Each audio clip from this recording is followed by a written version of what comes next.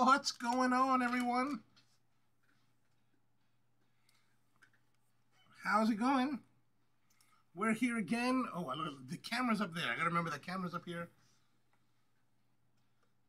Turn that down. So what's going on? It's Thursday, May 13th. We're back again here on on another beautiful night of cigars and coffee. So tonight has been the the show we've been telling you a lot, a lot about over the last like couple months with the Aganorsa leaf, rare leaf reserva. We're gonna have Mr. Mike King joining us in a little bit, and um, yeah, it's been a good time, exciting. One thing about this this uh, this music, it takes a long time, and I'm like, oh my. All but almost done. There we go. Oh. All right, so how's you all doing tonight? Thanks for tuning in. Really appreciate you being here. We're back again. It's Thursday, May 13th, and it's another really pretty day here in Baltimore. It's actually kind of a, it's seasonal, so meaning that it's like around seven, low 70s, upper 60s. It's going to be a little bit colder tonight, but overall, pretty darn nice for this time of year. And uh, so we're going to get right into it so we get, don't make Mike wait too long. Um, tonight's coffee, we're going to start off with our Sumava from Costa Rica. This is a beautiful yellow honey process, which is what they call the Tunke which is a particular part of the farm on the southwestern edge of the farm. So this farm uh, is called Sumava de Lourdes, and it's located in the central valley of Costa Rica, probably about an hour outside of San Jose. So if you've ever been to uh, to um, to Costa Rica and to San Jose, it's actually if you drive about an hour west, that's where the Central Valley is. And um, yeah, we've got this coffee, and it's really a lovely one. So we've got our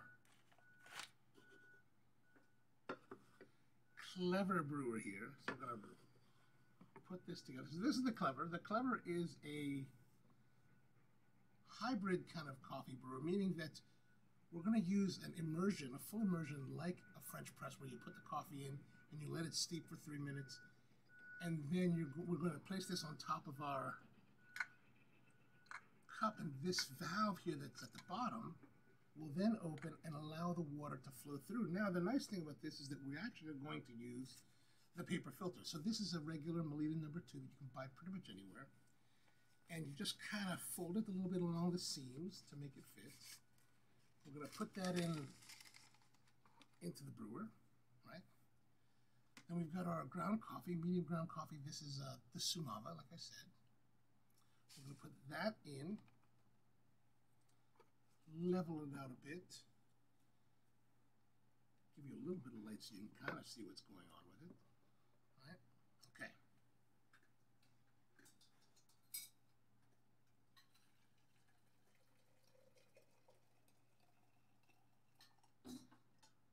Then we're going to add our hot water. Also, we're going to get our timer ready. Three minutes is on the timer, right? So we're going to add the water, start the time, and we're just going to let it fill, give it a little bit of fill, and then wait a moment while, while the coffee blooms. You know, the fresh roasted coffee needs a little bit of time to bloom because it starts to float. And if you don't knock off what's floating on top, that's coffee that just doesn't get any extraction and you don't really get any flavor out of it. And if your water ratios are off, then you could get more sour, less brewed coffee. That's about a good enough time. We're just going to make sure that we saturate the water, all the I mean all the grounds with the water, and then come up to our volume. We're going to be adding about 350 milliliters of water, which will give us a 12 ounce serving this thing comes with a lid, so I'm going to put that on the lid, and we're going to wait for this thing to brew up. And then we, so this coffee that we're brewing today is the Sumava, and the Sumava is, let me pull it up here for you to see. So this is the Sumava, and this is a really, really lovely coffee. We sourced it from a guy named Francisco Mena. He's the, the producer down in Costa Rica. And um, yeah, so it's from the 16, 1670 to 8, 1790, so 1700 to 1800 meters above sea level, which is a fairly high grown coffee. Not the highest that we buy from. We normally The highest is actually from a place called Chirripo, which is this coffee that we get that's from about 2,200 meters. So that's really pretty high. Uh, this is a yellow honey caturra. What that means, caturra is the, the, the actual variety of Arabica coffee that we're using.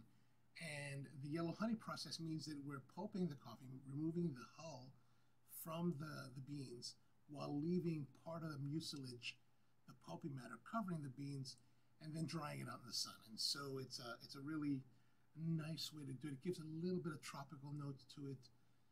Um, yeah, and so it's it's been a really interesting. So it's really a crisp, citrusy, yuzu-y, honeysuckle kind of coffee. Well, those are the flavor notes for it, and um, just really quite pretty. All right, so let's go back. We should almost be done. Yeah, we're about almost done here.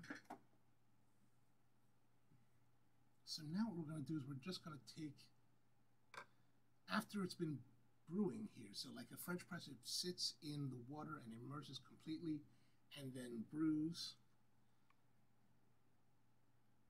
And we're down to the last 10 seconds.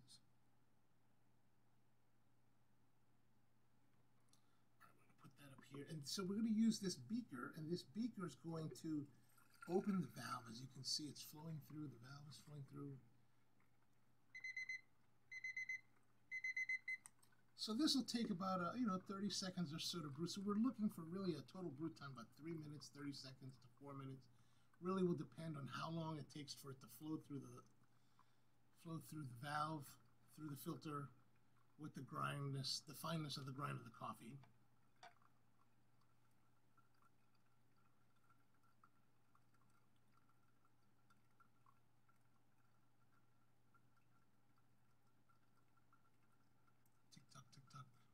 Somewhere we're going to finish.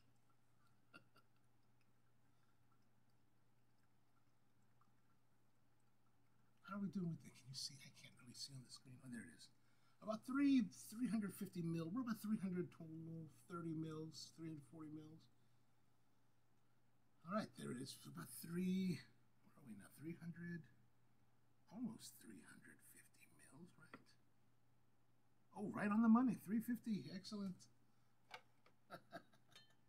Not bad for an old guy. All right, so that's the, our coffee for the day, the Sumava. And we're going to put that into our nice little mug here.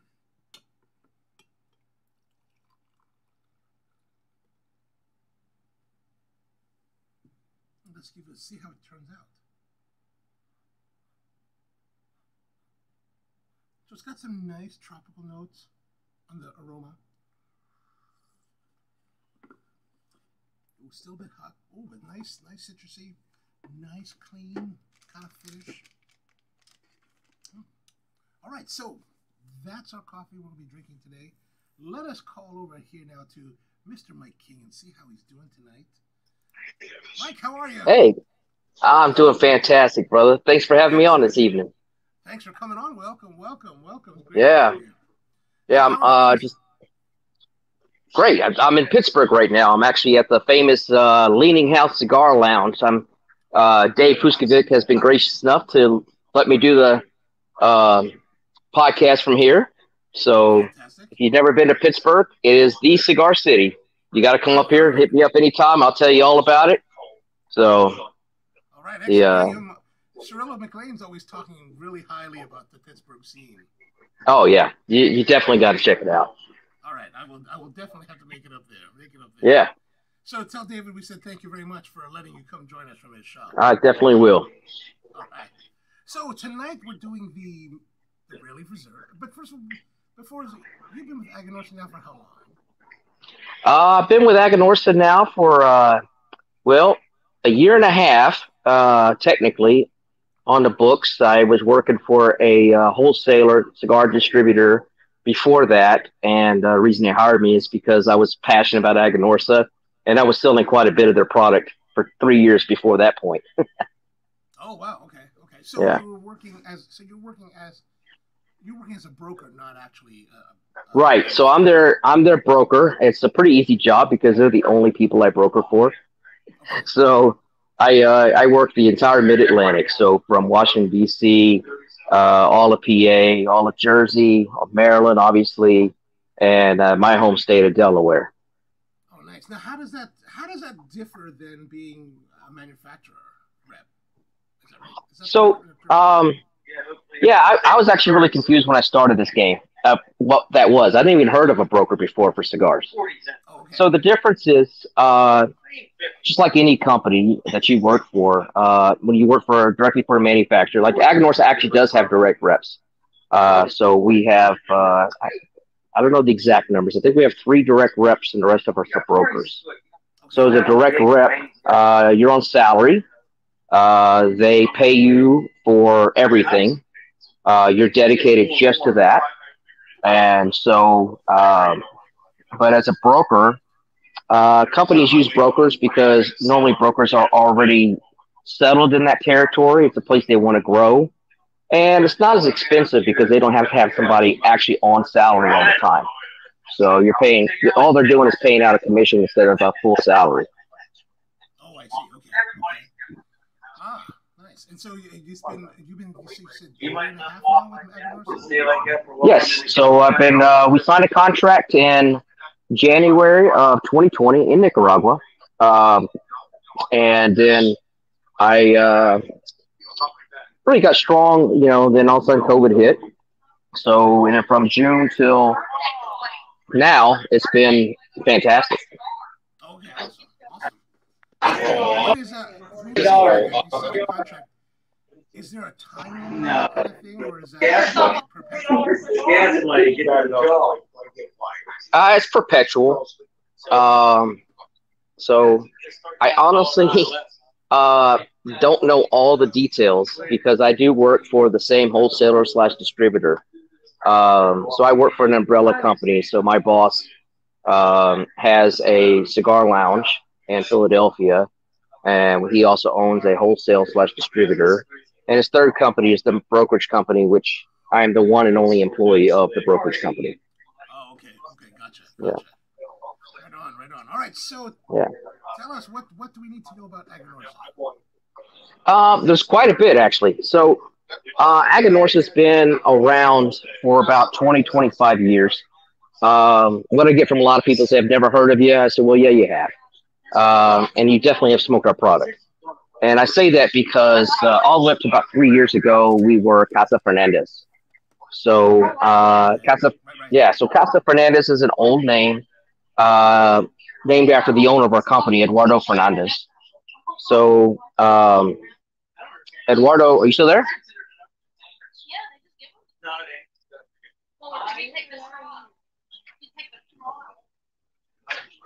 I think I lost you. Hello.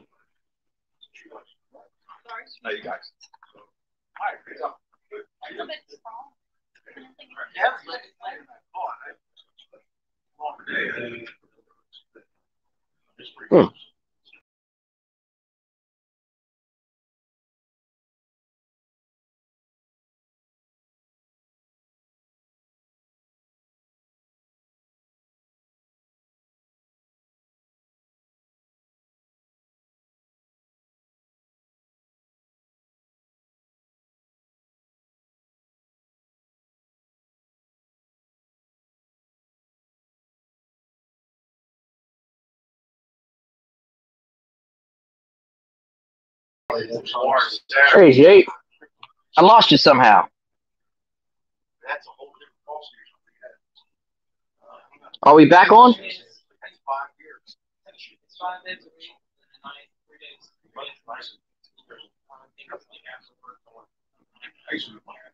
So, uh, so I don't know if we have technical difficulties here or if it's on my end. I tell you what, if anybody can see or hear me, text me 843-822-6769. 843-822-6769. Uh, let me uh, let me see what we can do here.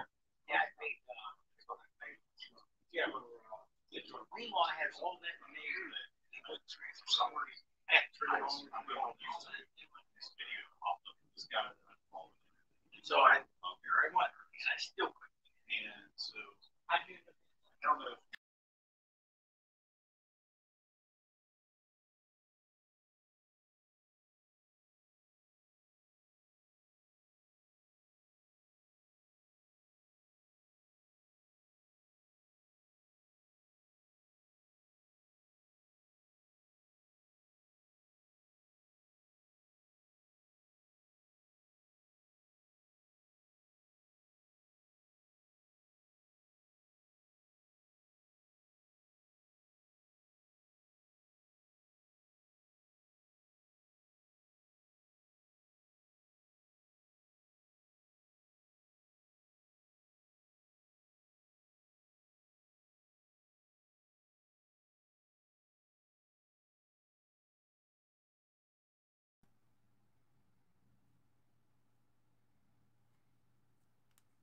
right, I think.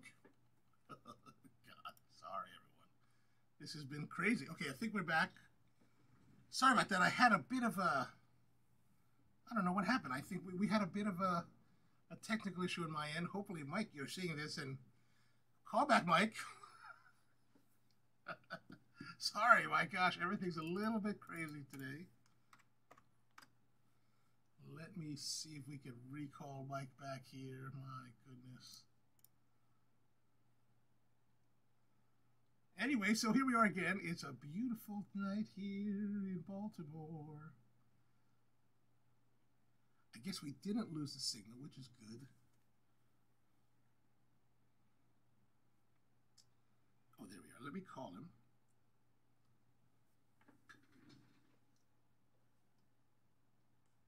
Is it ringing? All right, let's see what Mike has to say.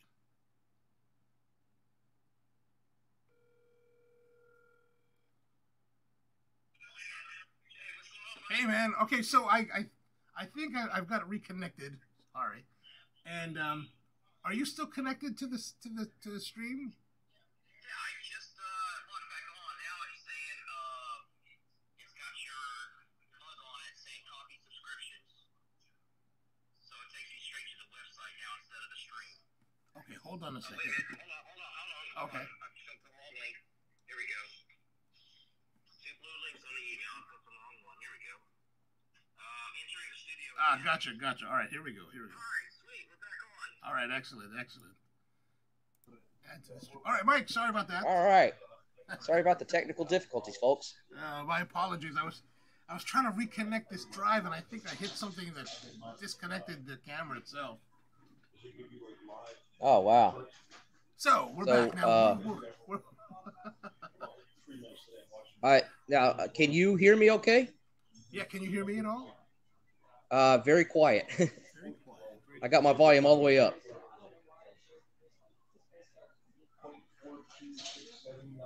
Is that any better? That better? Nah, it's the same. It's the same.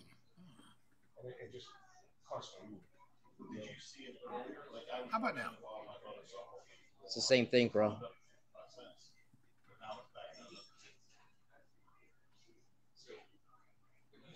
Hang on there for a moment. Let me read. Let me see if I can read.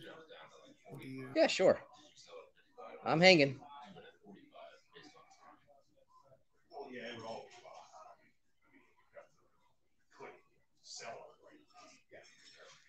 Puts the order in. I think we need, as soon as you get the sell button, the order is placed to sell. That was always my question. All right. Did that change anything? No, I can hear. It's the same thing. Let me reconnect. Okay. Okay. So that, that is- Man, sorry about all the troubles.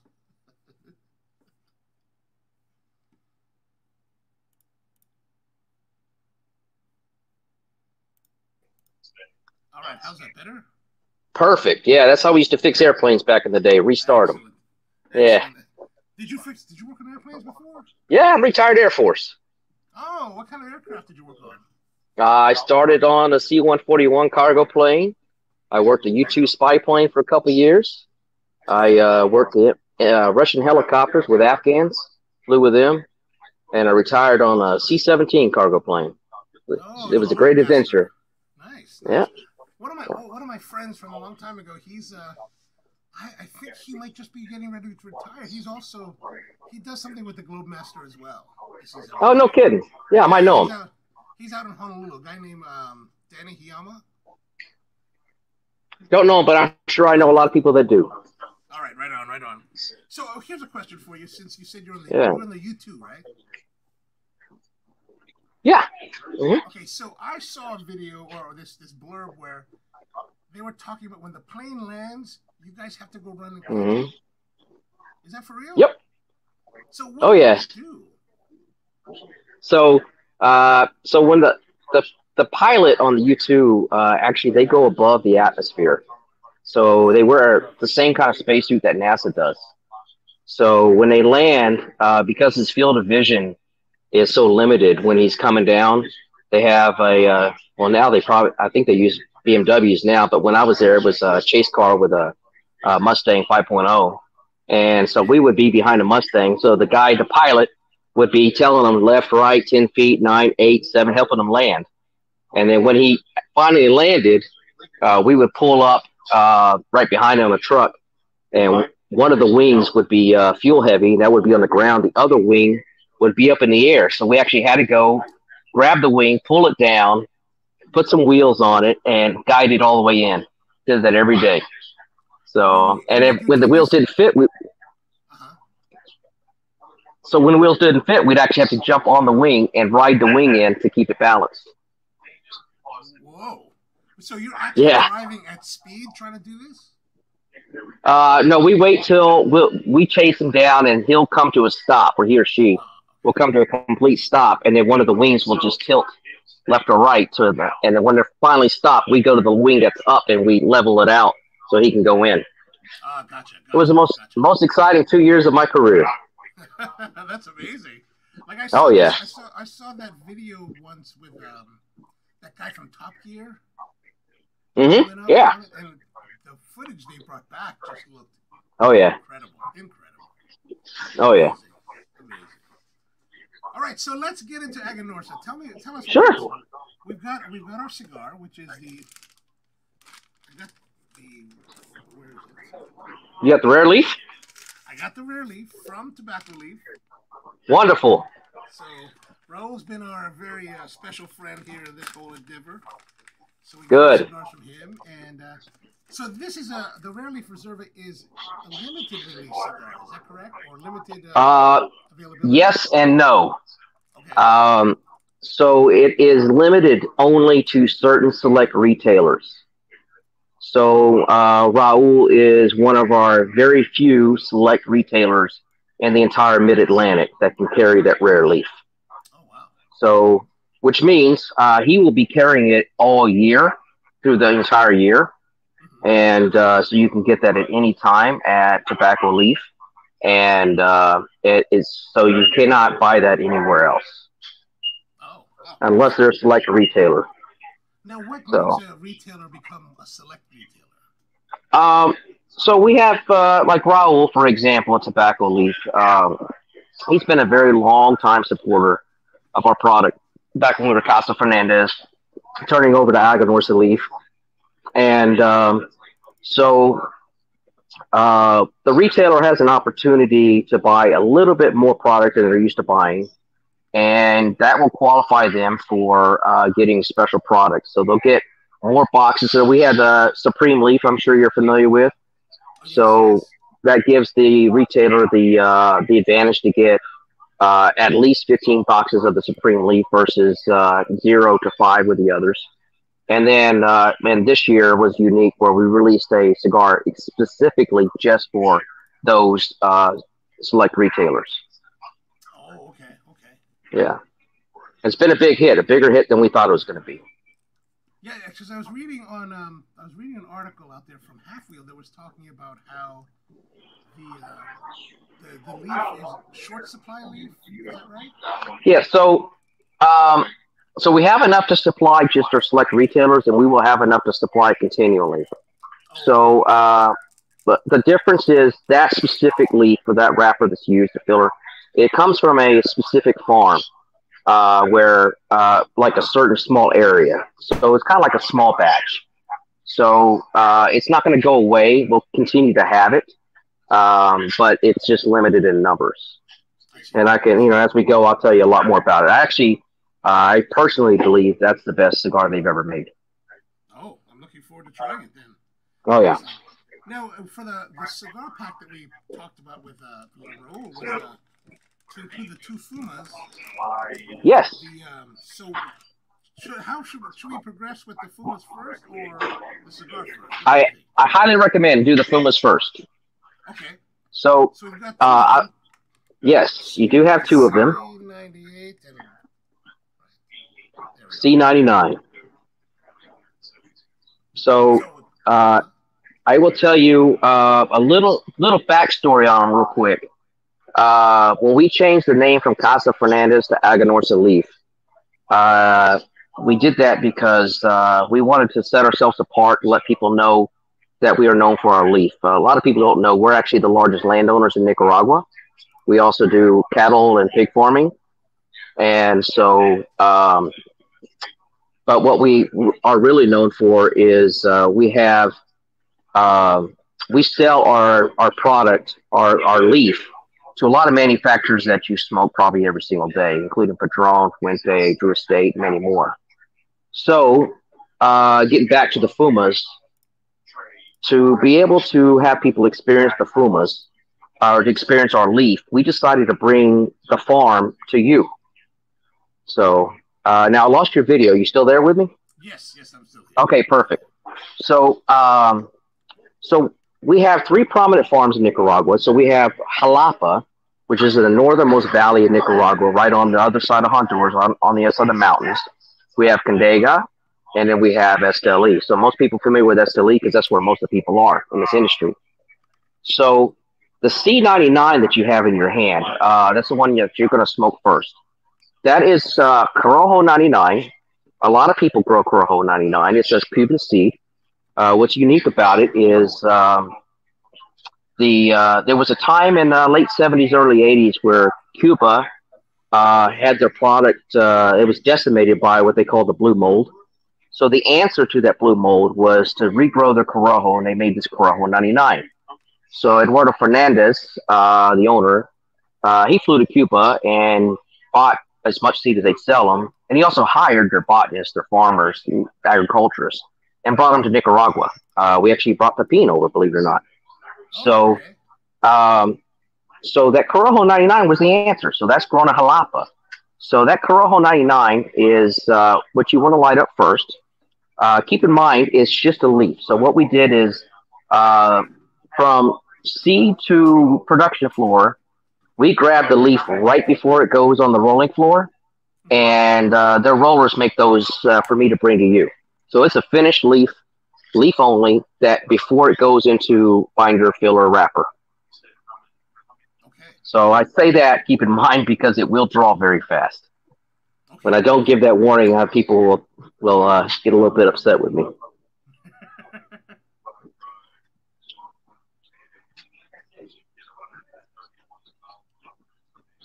So right off the bat, um, this is why we do that. You get that slight bite of pepper Mhm. uh, right on the tip of your tongue. Right yeah. So uh, that's that's what it's known for. That's why people buy that leaf forest because of that quality, that pepper.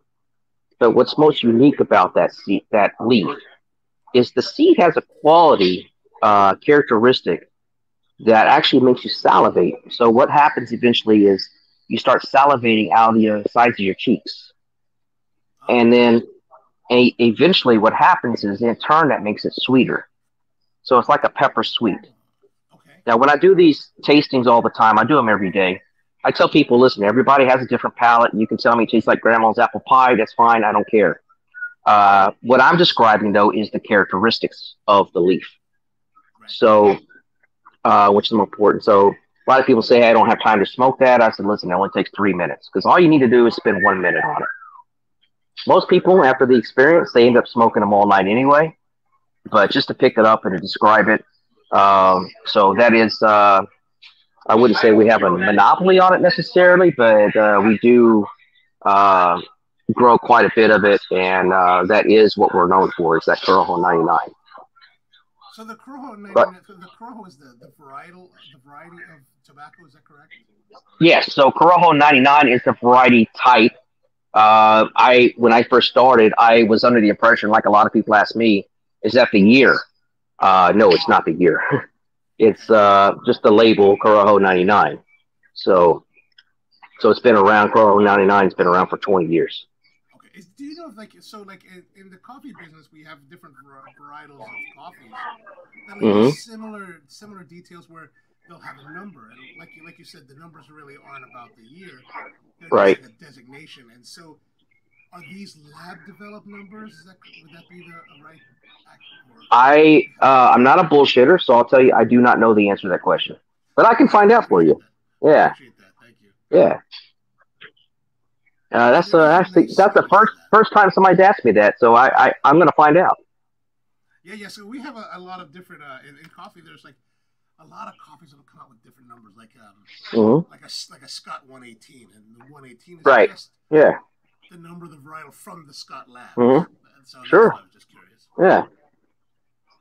So the seed, the the Corojo 99, the, it's from Jalapa. So the, the the terroir will have a different impact.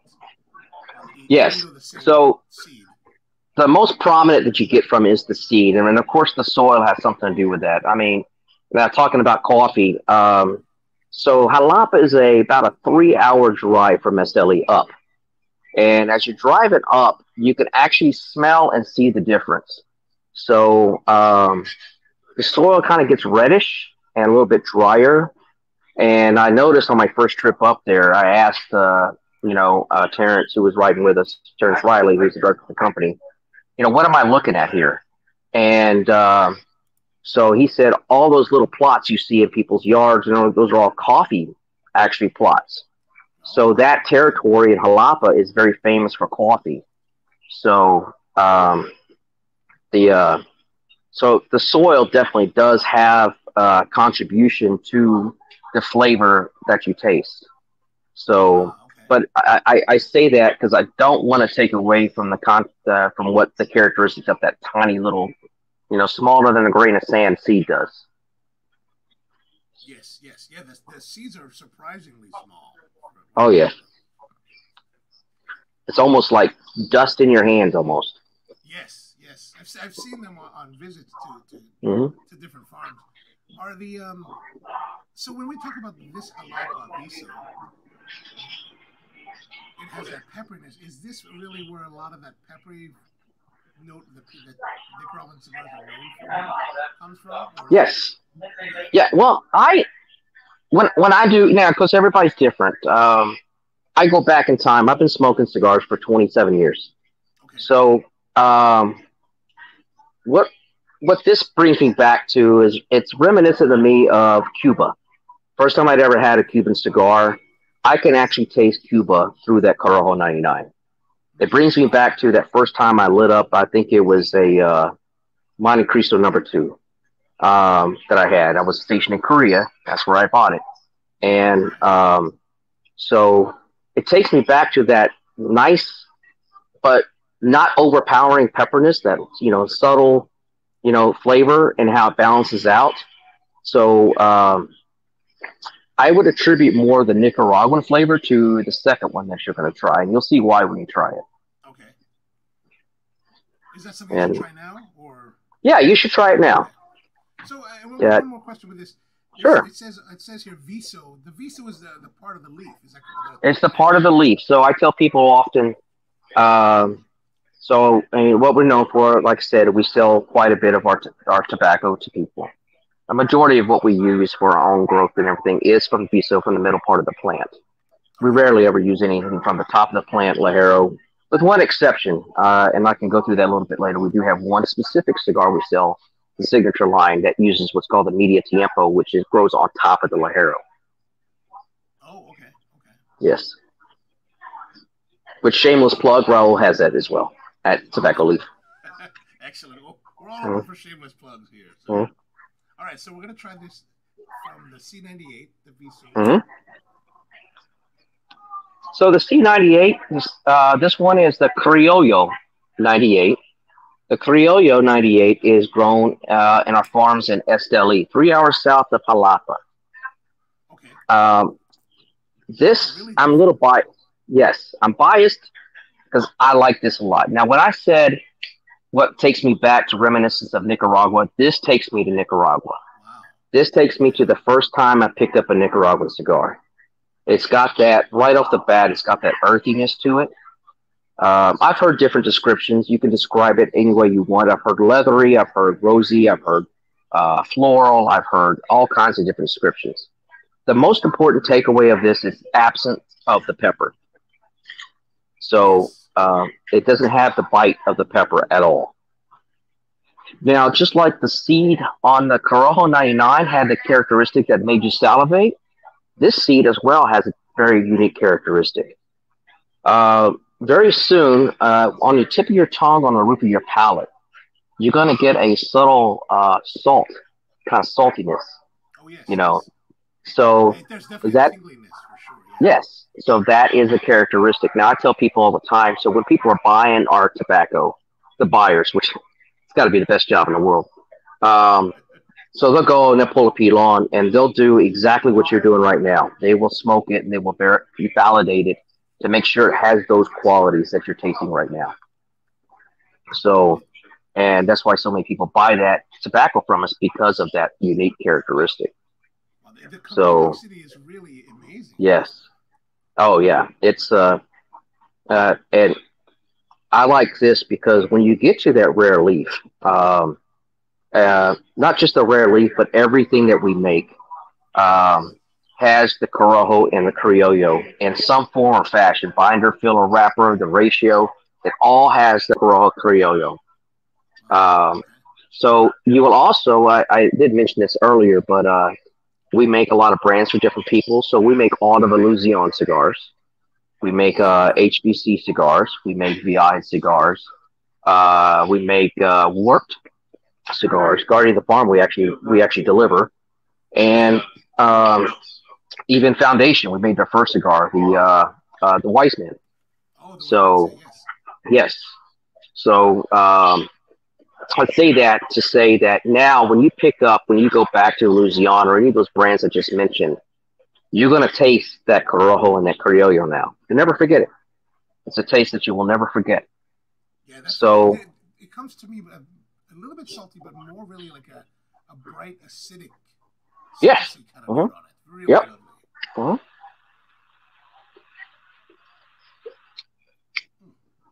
Yeah, what I'm smoking right now, I'm smoking our Lunatic Maduro. Okay. And uh, the reason I like our Maduros is because I favor the Criollo, which is smoking right now. I just have so our Maduros, uh, we use uh, for most of the Maduros, we use a San Andres wrapper on it.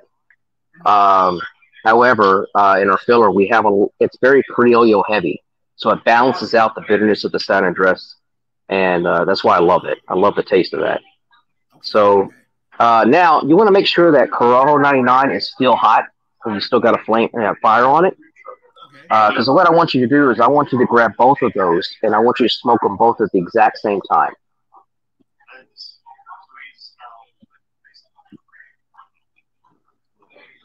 oh, fascinating! Wow. So this that's why we do that. I call that the O face. You know when I'm doing this, I get the same reaction every single time. So basically, in its simplest form, you just made a cigar. So um, so you could see how the pepperness of the Corojo, the saltiness, earthiness, uh, uh, citrusy of the Criollo, how they perfectly balance each other. Yeah, exactly, exactly. That's Yeah. what I was just thinking. Wow.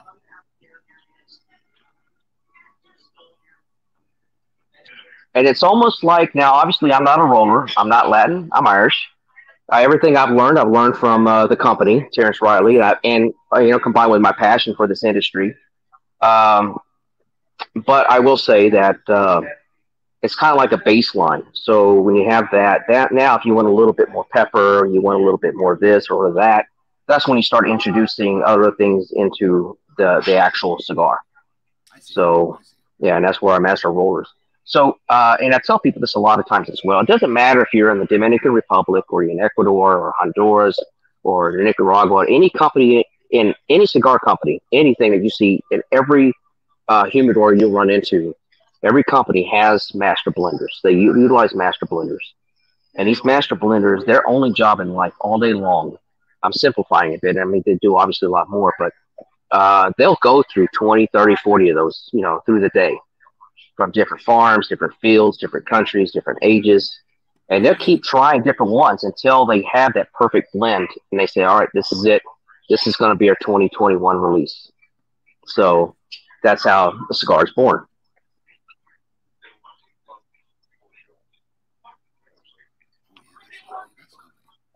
Yeah, you know, it's it's interesting you say that because we um, I was able to visit the uh, the Tabsa factory several years ago. Yes, that's us. And um, the uh, all right, let's see if I can pull this up here. There's a I've got an image to share with everyone so they can Yeah. see. That uh.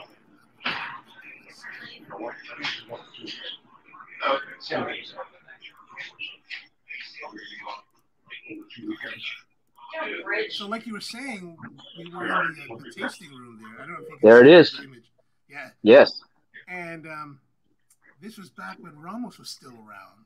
Yes. And we were, you know, we got to see how they were, you know, like, like you said, they're rolling to these these tobaccos together, making like sample cigars, tasting them, and it was really, really a fascinating, wonderful experience there. Yeah, it is quite an experience. Um, I recommend uh, a good friend of mine. I'll, I'll, I'll call his name out. Uh, uh, Dan Wood, who uh, works at the Wooden Indian up in uh, around Philadelphia.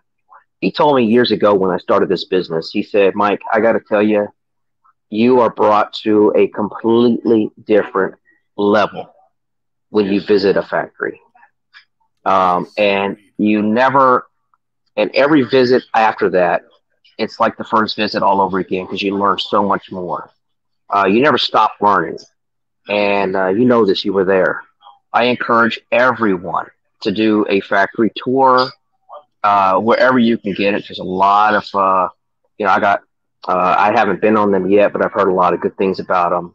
Uh, uh, Perdomo has a great factory tour. I heard his, his is the most educational.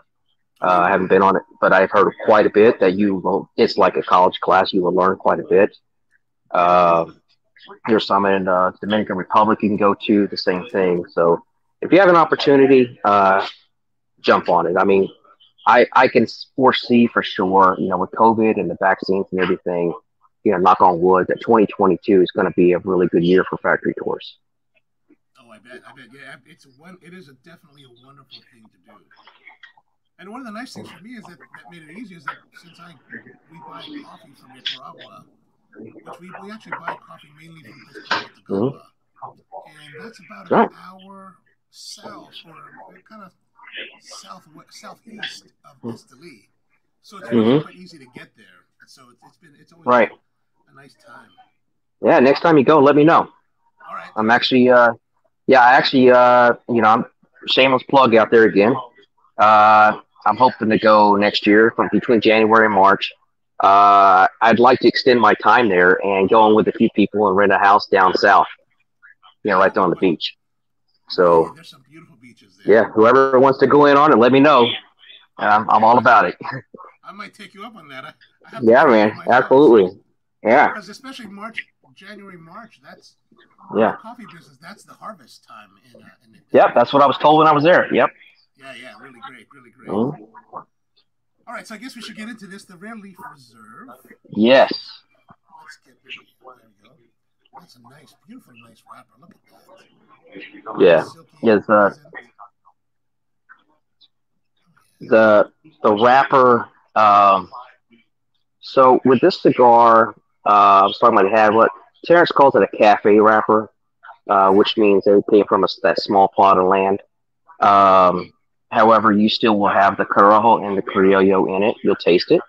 Mhm. Um, one thing you'll notice about this, and which is why I like it so much, it's very criollo, uh, C98 criollo dominant. Uh, so you still will taste that corojo, but it'll be very dominant on that earthiness, and it smooths out. I think it's a very, very well balanced cigar. All right. All right. My, uh, you know, people ask me all the time, "What's my favorite cigar?" Well, now obviously it's a rare leaf. Uh, what do I smoke every day? Uh, oh, as far as the next one, I would say is well balanced like that. Uh, Guardian of the Farm. I smoke the Guardian of the Farm, the small ones, the Rambo, the originals, every single morning for breakfast. Okay. And uh, if I could, if I had enough of it, I would smoke. Uh, I would finish my day every single day with a rare leaf. Ah, well, I mean, the Guardian to start the day with the Guardian of the Farm. That's a pretty, that's a great cigar to start with. Oh yeah, yeah. Uh, Terrence Reilly got me on that. Uh, I first time I rode with him. Uh, first thing in the morning, he does that. That's his cigar every single morning. First cigar is uh, Guardian Farm. So uh, he got me on that. So uh, I actually buy a couple boxes just for myself every month. Nice. So, yeah. So now uh, Terrence is the he runs Aganorsa now. Uh, so Terrence, uh, yeah. So Terrence was hired. Uh, Terrence is a unique story. Um, if you saw him, you wouldn't even guess it. Um, you can't miss him. He's six foot giant to me because I'm I'm short. I'm five six. So Um, Terrence, uh, uh, as as tall and white as he looks, he's actually half Cuban. Uh, so uh, khaki slacks and golf shirt and all. So uh, his uncle uh, is a name that most people will be familiar with is Manuel Quesada from Quesada Cigars. Yes. So he cut his teeth at a very young age on the farms in the D- in the DR. Uh, so after uh, he went to college and taught school for a couple of years, his uncle called him and said, "Hey, you want to come work for me?" So he came down and he became the uh, the face of uh, Quesada. And uh, so uh, when Eduardo was seeing the shifting and everything, uh, they they reached out to Terrence for employment. They wanted to do something different. So Terrence flew down there. He wasn't planning on getting the job, but he went down there. He, uh, I think the cigar he told me he picked up was a Buena Cosecha, which is a very spicy Ferrero cigar, and um, he said that sold him. And so, so his role um, changes every time you talk to him. um, he is uh, best because he he he's pretty much everything. He, he the but I would call him the director of the company. His official title is he's the uh, the national sales and marketing director for the company. Oh, okay. So uh, yeah, so Terrence is truly the face of the company, and uh, he's I, I admire him immensely. He uh, uh, so what he has done with these fumas, that was his idea. The change to Aganorsa, that was his idea. Uh, the rare leaf was his idea. The supreme leaf was his idea. So uh, he is uh, he's very forward thinking. Uh, he's very very articulating plan, and I I tell him all the time I wouldn't win his job for anything in the world, just because he'll pick up the phone if you call him and act like that's you're the only priority he has for the whole day. Meanwhile, he's probably got five thousand other people trying to call him at the same time. So uh, yeah. So if you ever have a chance to see Terrence in your area when he comes down, and obviously uh, next time he's down, uh, he'll be down in June. Actually, second week of June, I'll announce it's tobacco leaf. Let you guys know. We'll come down and say hello to everybody. Oh, that'd be great. That'd So, be great. yeah. So with with Terrence now in, in position, so what what does Eduardo and Paul do? Uh, so Paul, Are they just kind of hanging out in Miami, enjoying life? no, they're they're still working their ass off. Um, Okay. So Paul pretty much runs the entire um, office down in Miami. So uh, we are in Miami now. Don't ask me where because I'm not familiar. I, get mixed turnaround on Miami, but I know it's kind of a little bit northeast of the uh, the airport. Okay. If you blink, you'll miss us. Uh, we don't have anything fancy. There's not a giant Aganorsa billboard. There's not a beautiful brick building or anything. We're in an industrial area. Just uh, the main purpose of this warehouse is just to bring product in and ship it out. Uh, however, uh, saying that Paul's the boss there, and there's a reason. Uh, we actually have four Cuban ladies that uh, work there every day. Um, so they are in our back office, and their only job is to roll cigars, blend and roll cigars all day, every day. So with our Aganorsa series, if you've ever seen the Aganorsa leaf, like those are made in Miami. Uh, if you've seen our our uh, anniversary series, those are made in Miami by those ladies. Uh, the uh, the actual Casa Fernandez series, made in Miami. If it says Miami on it, it's made in Miami. Uh, what's unique about that is, and you've been to the factory, so you've seen it. It's almost like a uh, every cigar factory you go to. It's you know you have pairs of two. You know, two people at one table, two people at another table. They're working on a specific part of the cigar. They pass it on to the next table. Uh, the traditional Cuban way to make a cigar, they call them torcedores. Uh, you make a cigar from start to finish, one person. So there's no passing it on to the next person. That's what's unique about this tobacco. So uh, to pull a statistic completely out of my ass, uh, I would say that uh, we pretty much send the top 1% of our tobacco to Miami. That's already been inspected through and through uh, to Miami for these ladies to make those cigars that are on your shelf. And the most beautiful thing about it is, uh, retail wise, they're about the same price as everything else we sell. Okay. Yes. So, Yes.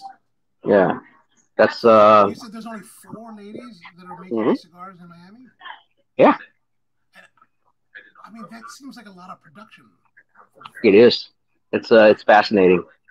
It's absolutely fascinating. Um, I would have before I did this. Uh, one background I didn't tell you. While I was in the Air Force for 20 years, uh, between deployments, I deployed 13 times. Between deployments, Wow. I worked part time in cigar shops.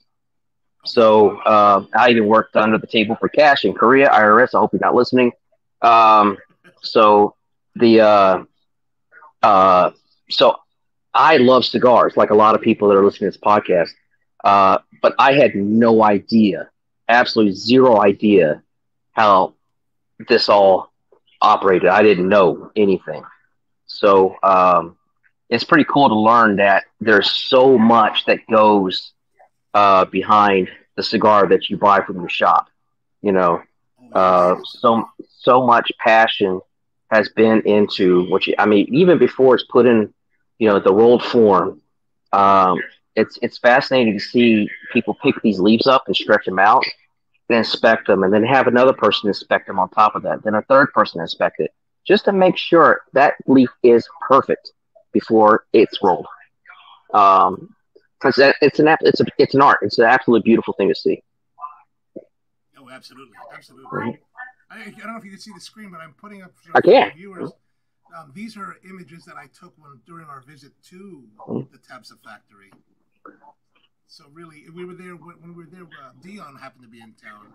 Oh, nice. That's why you see him. Like you'll see him here in a couple of these images. Yeah, Yeah, there he is, right there. nice.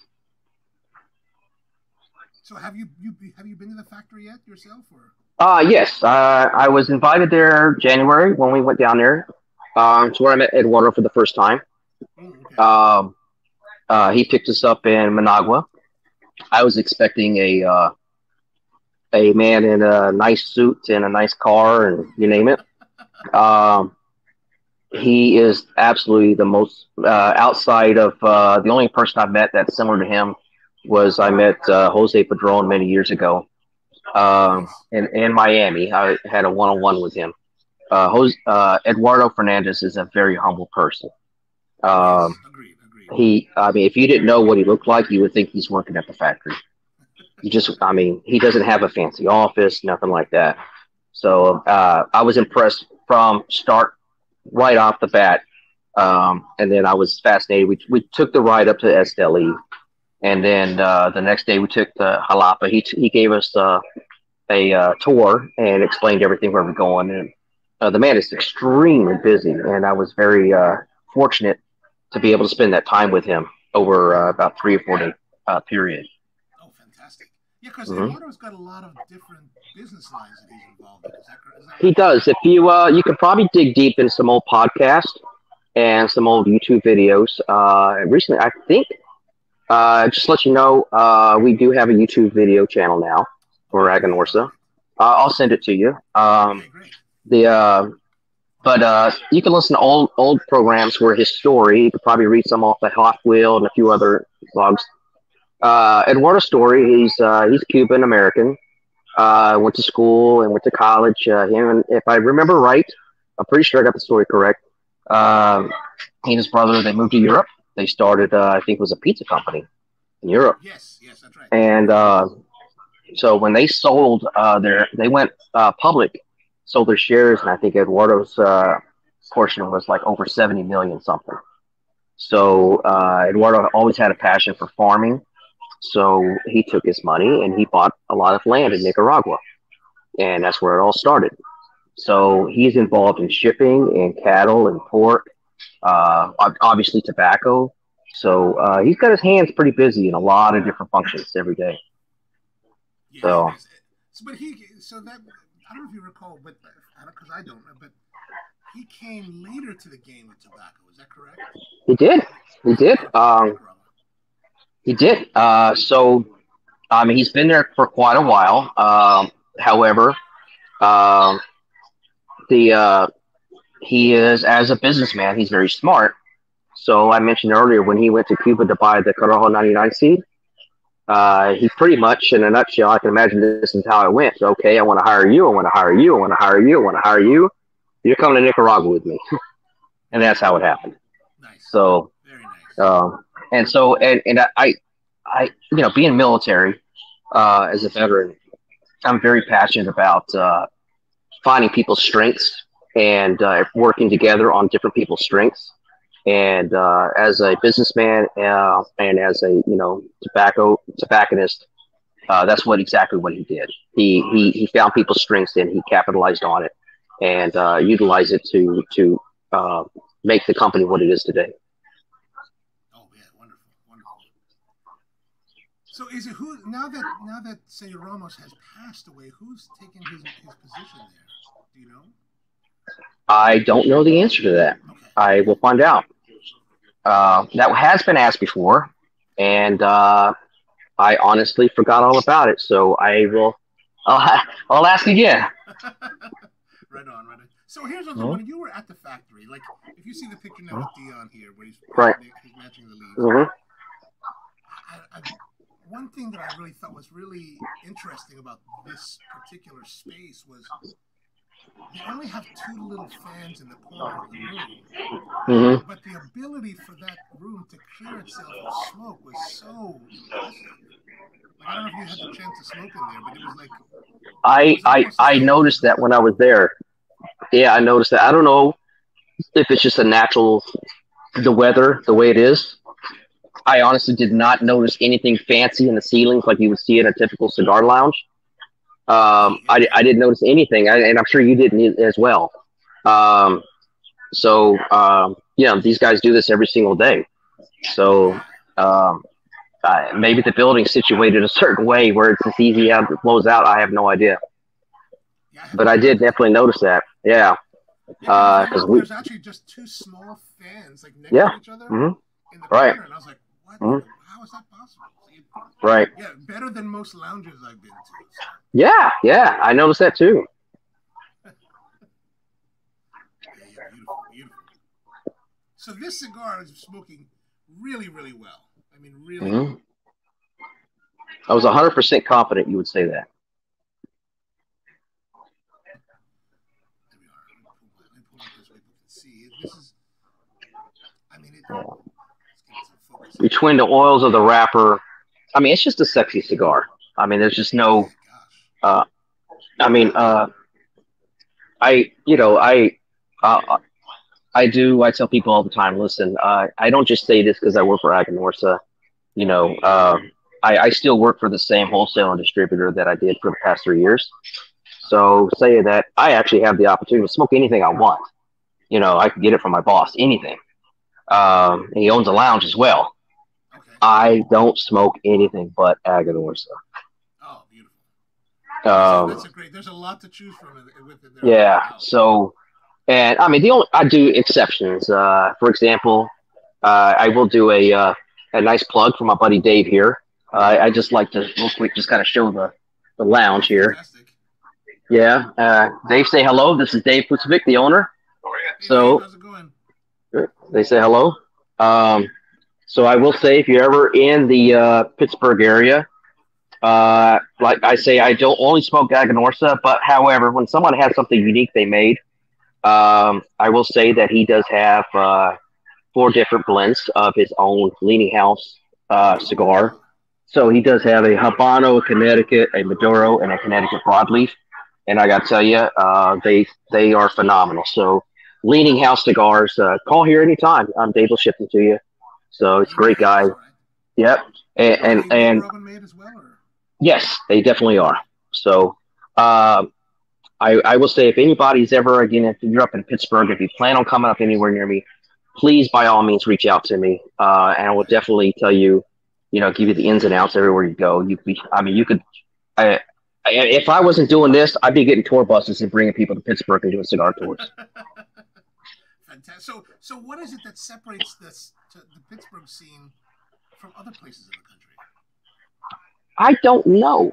Um, so I'm originally from Texas. I left Texas when I was 19, uh, and I got I got stationed in an even hotter place. I was in Charleston, South Carolina. Um, So I didn't get to tour. I, I I was I've been on the East Coast pretty much my entire life.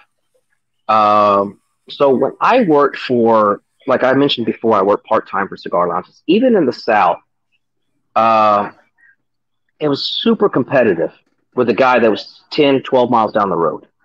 super competitive. I mean, you weren't even allowed to mention their name in the shop. You know, Oh um, and, and as a cigar broker, I I I, tr- I travel everywhere, up and down the East Coast and Mid Atlantic, especially. And uh, I mean, for the most part, there is a lot of support between shops. Everybody knows each other and stuff. But Pittsburgh has a very unique uh, magic about it. Like, for example, when there's a shop across town that has an event, the other shops will promote it. oh And hell, they'll, they'll shut down and go to it. wow. So um, that uh, a good example is uh, Rocky Patel. They have a burn lounge here. That's real fancy and you know nice bar and everything. When he did his grand opening, every cigar shop owner in Pittsburgh was there for the grand opening, oh and so uh, that's what's magical about it. It's just uh, when you sit in one shop, you feel like you're sitting in all of them. So oh beautiful. you got to try it. So what part of what part of town is is this lounge in? Is Dave's lounge? So, uh, Leaning House is probably the first lounge you'll hit coming into Pittsburgh. What are you, about 30 miles, 20 miles south? Yeah, 20 miles south of Pittsburgh. It's in a small little town called Belle Vernon, right on the water. Uh, it's called Leaning House because it's actually an old house. It kind of leans a little bit. So, um, it's pretty cool. Look it up on Facebook. You'll see it. It's, it's a really cool image. So, uh, yeah, and then uh, it's a great place to start or finish a little Pittsburgh tour, and then you go into the city, and then you'll start mapping out, and you can see different lounges to stop at, and everybody's going to be very hospitable to you. So, Oh, all right, all right. Let's see. What, you said it was uh, Belle Vernon. Is that correct? yeah, Belle Vernon, B E L L E, Vernon, V E R N O N. Yep, there it is. There we are. There we are. There it is. Yep, that's him. That's the shop. That's. So, That's. Yeah. And uh, I mean, if you're ever in Western Maryland, it's just a really short uh, drive here. Uh, so I was surprised. One time, I uh, I wasn't doing Pittsburgh uh, route that that week, uh, but I happened to be in Gaithersburg, Maryland. I was heading west, and I thought, well, what the hell? Why not? And so I was surprised how quickly I was at Dave's shop. So um, it wasn't bad at all. wasn't as far as I, I thought it was going to be. Oh yeah, not too far from seventy. Right off of seventy. No, yeah, right off the seventy. Oh, Morgantown's only a little ways away. Mhm. Okay, Yeah. Great. Yeah, great place to vacation. That's for sure. Now, how far do you? Oh yeah, Seven Springs is. right- Oh yeah. So Yep. you're supposed to go to Seven Springs in the summer, so definitely. Oh, perfect. I actually did an Aganorsa event with Terrence at Seven Springs last year.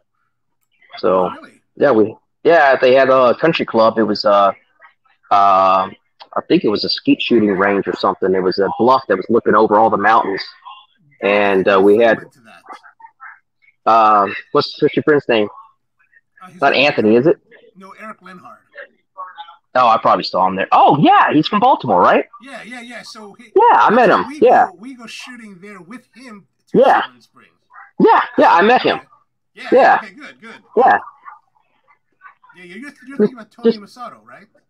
yeah. So just tell him the guy in the funny hat, you know. So yeah, yeah. I'm, I'm never without my hat. As soon as I started wearing these hats, people don't recognize me without them now. so what brought the hat about? Uh, so I uh, I did. I, I mentioned I worked Russian helicopters in the in the Air Force.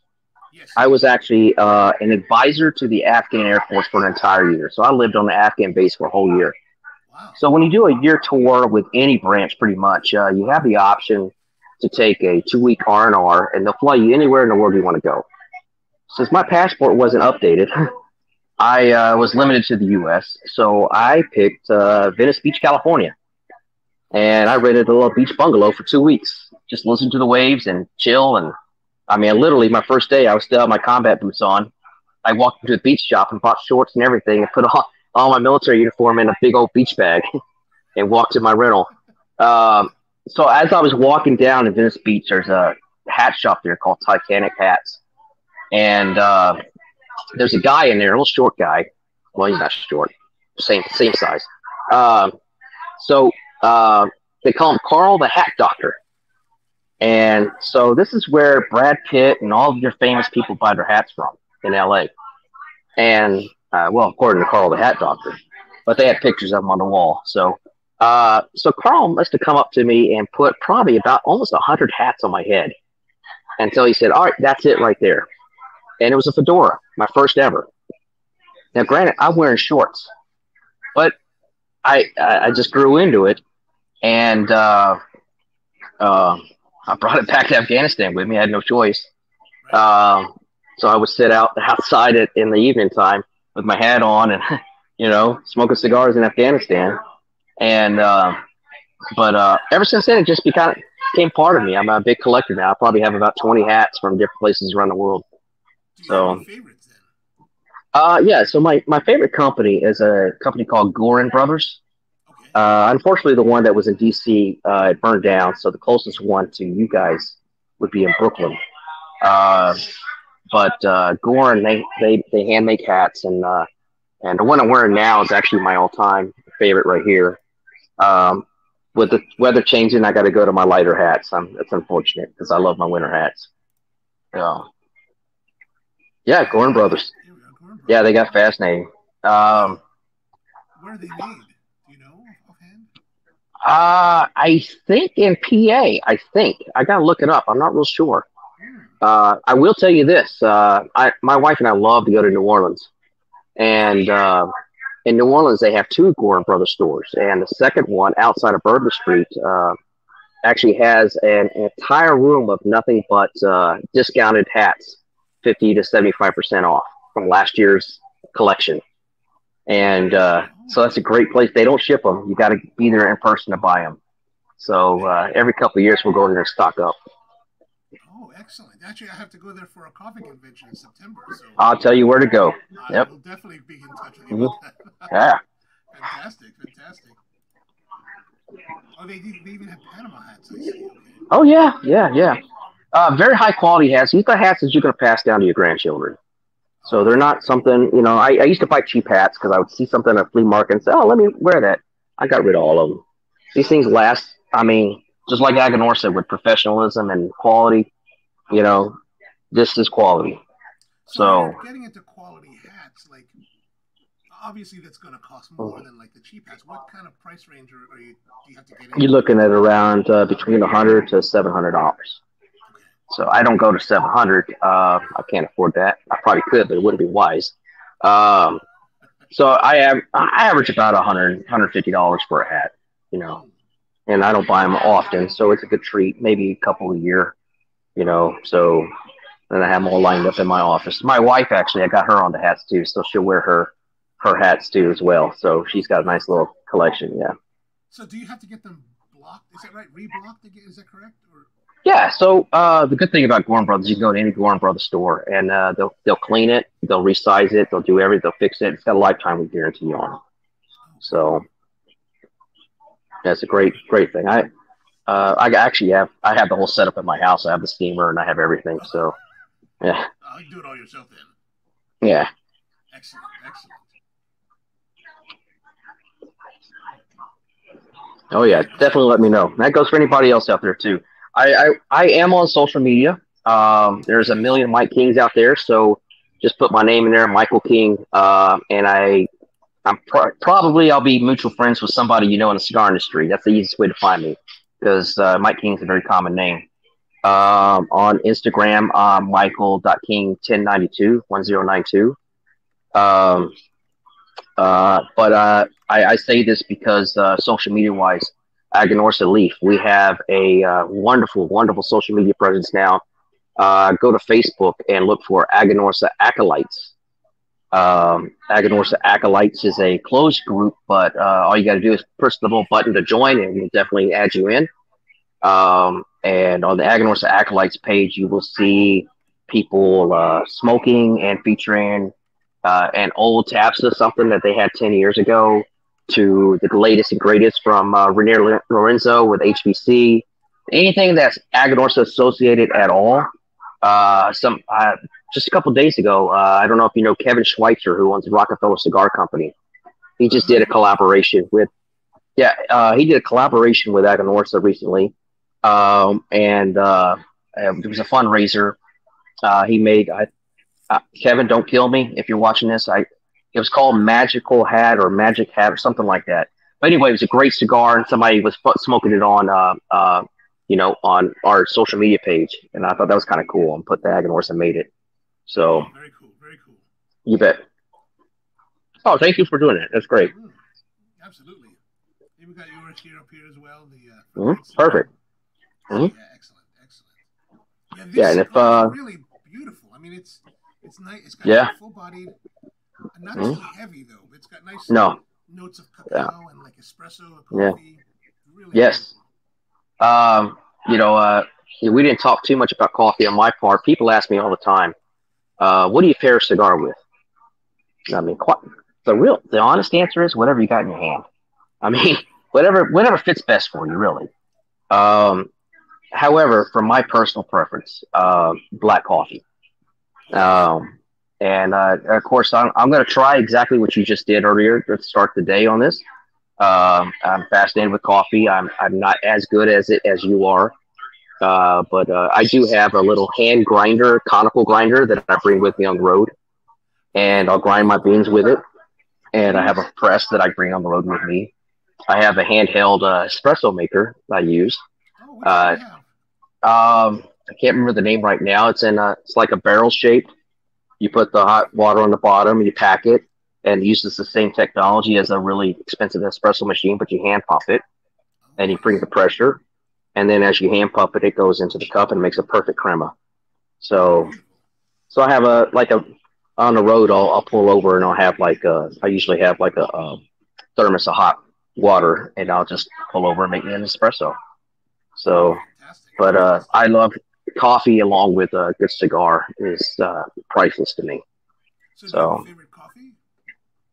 Um, yes, actually, I do. Recently, uh, past couple of years, I uh, there is a coffee company in New Orleans. It's called Try Me Coffee. That's it. Try Me Coffee. Um, uh, I was at a, uh little dive bar, 24 hours a day, um, in New Orleans called uh, Buffa's uh, restaurant, and they served me coffee, and I said, "This coffee is phenomenal. What am I drinking?" And the guy said, "Ah, it's a local local place.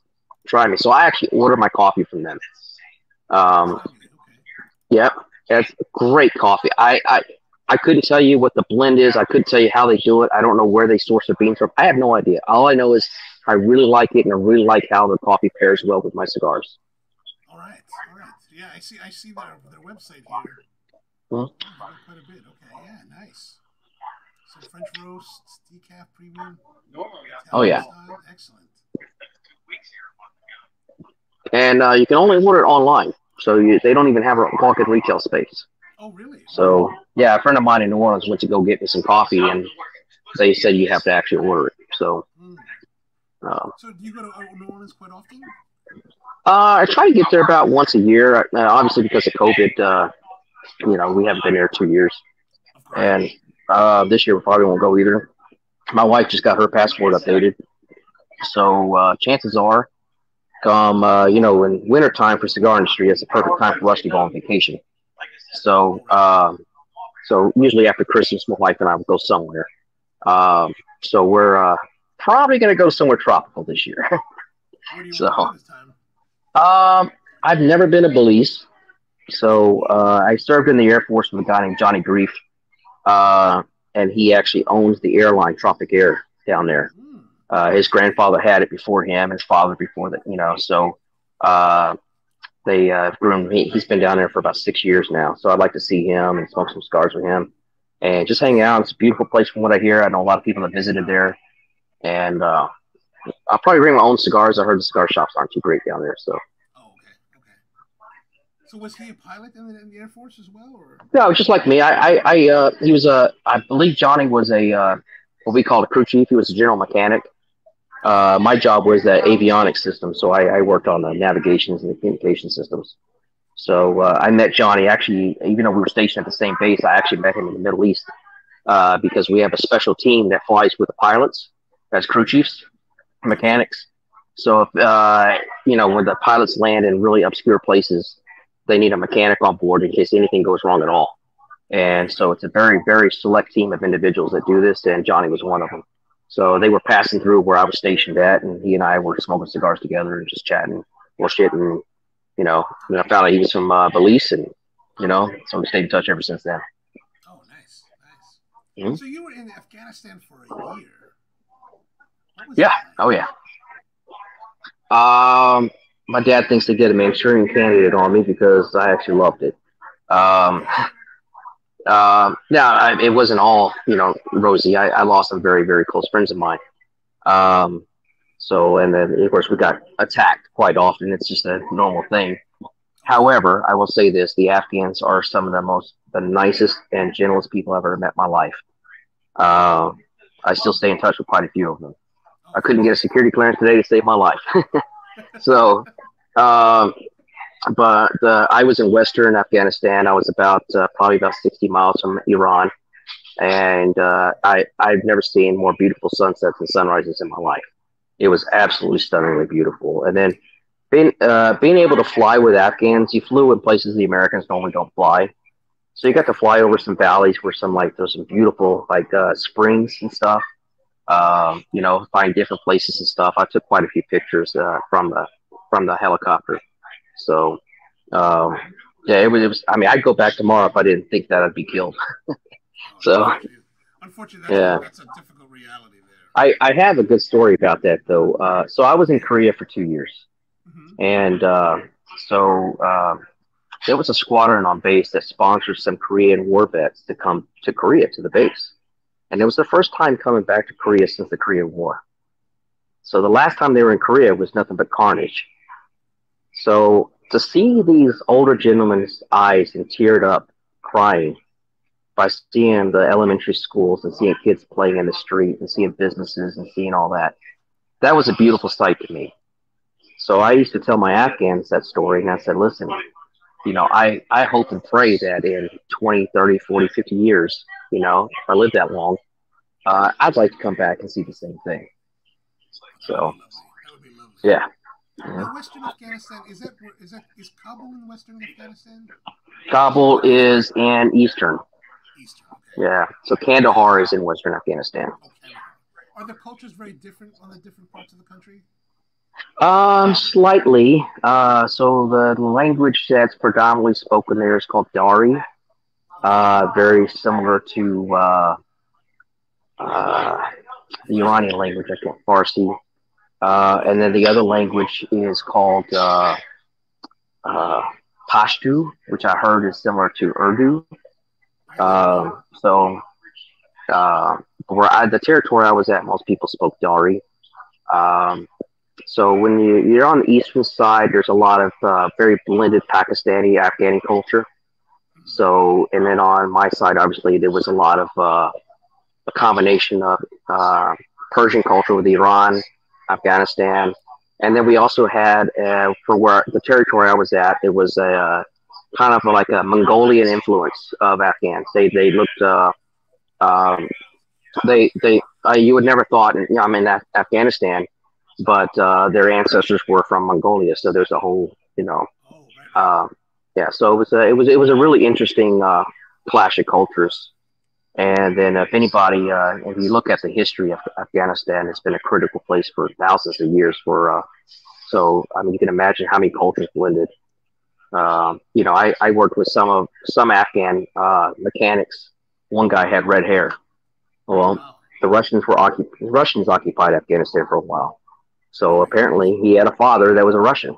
So um, I worked with uh, an older Afghan gentleman, uh, uh, Abdul Jabbar, believe it or not, was his name.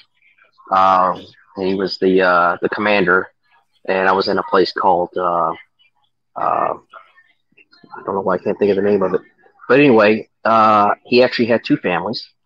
He had a wife and kids up in Russia and in Kiev, and he had a wife and family in Afghanistan. And it surprises you because you see these guys, you know.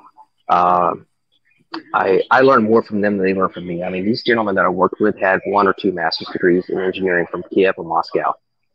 So just because they were out there farming on the farms and fields doesn't mean that they didn't have the smarts. Right, right. So- yeah, and they, I mean, the stories that they told were just absolutely fascinating. fascinating stories. Wonderful. So- part of the reason I'm asking about like the difference between with Kabul and stuff Mhm. when next time you come to Baltimore, if you're interested, there's a family from Kabul that has opened a small little cafe. So like No kidding. They're traditional like. Yeah, I'd love that. Yeah, yeah, it's, Yeah. It's, actually in the it's actually in the neighborhood where I have my coffee shop in a place called Hampden. Oh, nice. Too far from where Tony has his store, Nice. so it's pretty close, and we'll have to Yeah. check it out. Absolutely. Yeah, you have to send me that link, and I'd love to come to your coffee shop.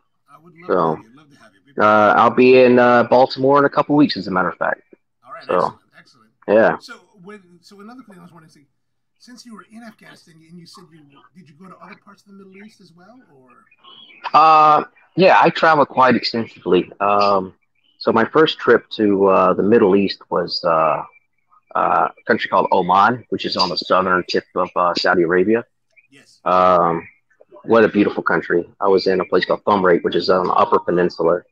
Um, so I was there right after September 11th. So very confusing time for everybody. Uh, and that was my first exposure to uh, Middle Eastern culture.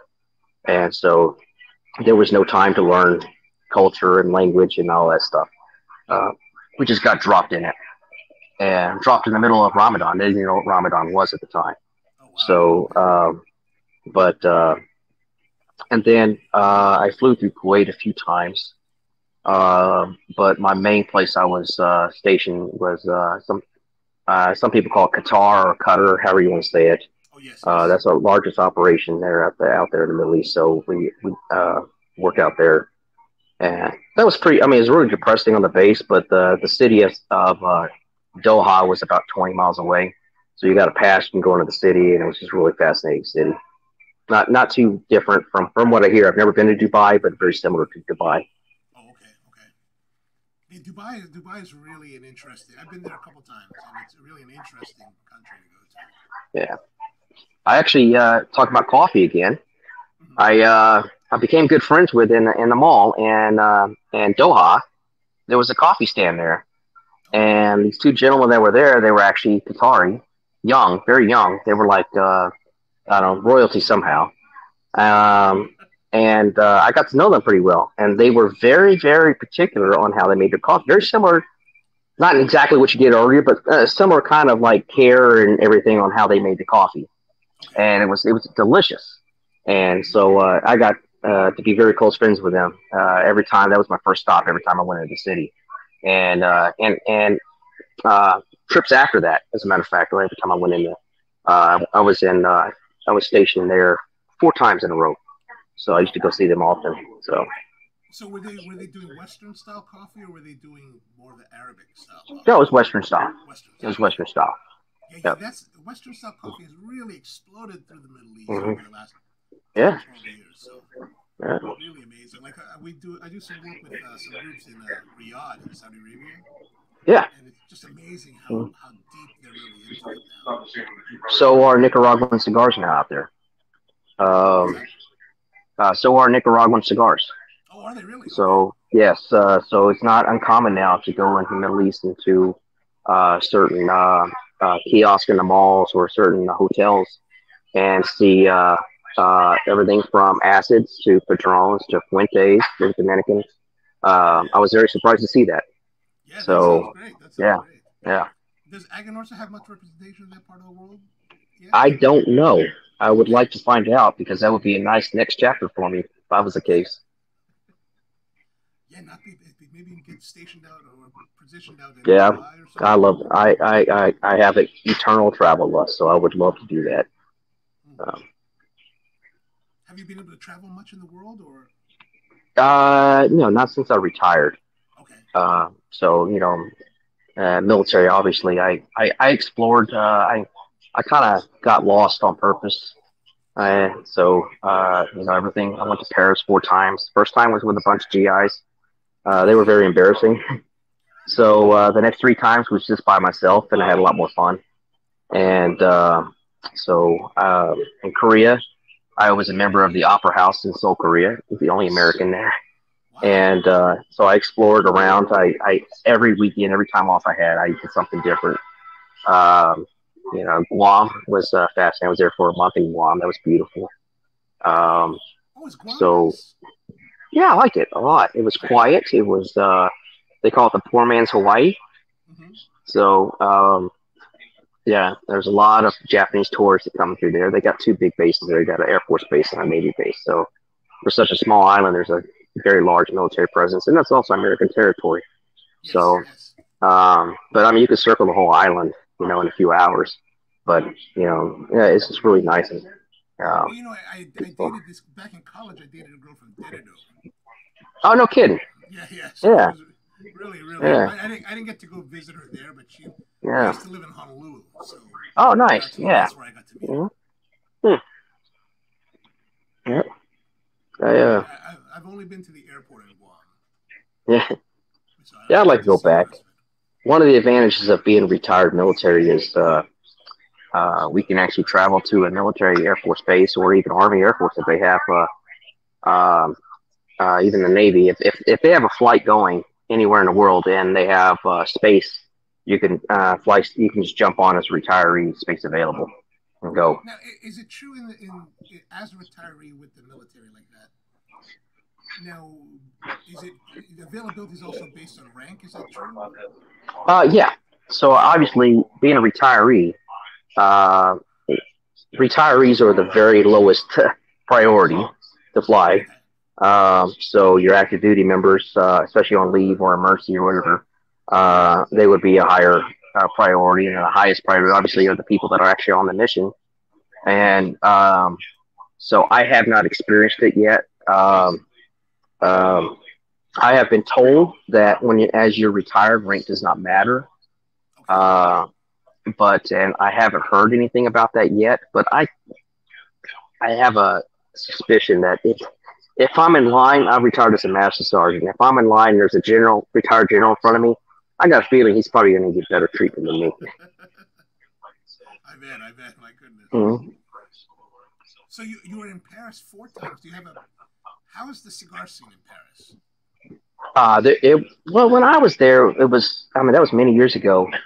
Uh, it was just Cuban cigars. So, um, and this was before they banned smoking all over Paris. Uh, oh, okay. I- it's been a while. I would just uh, go by my uh, my Montecristo number two and sit in a cafe.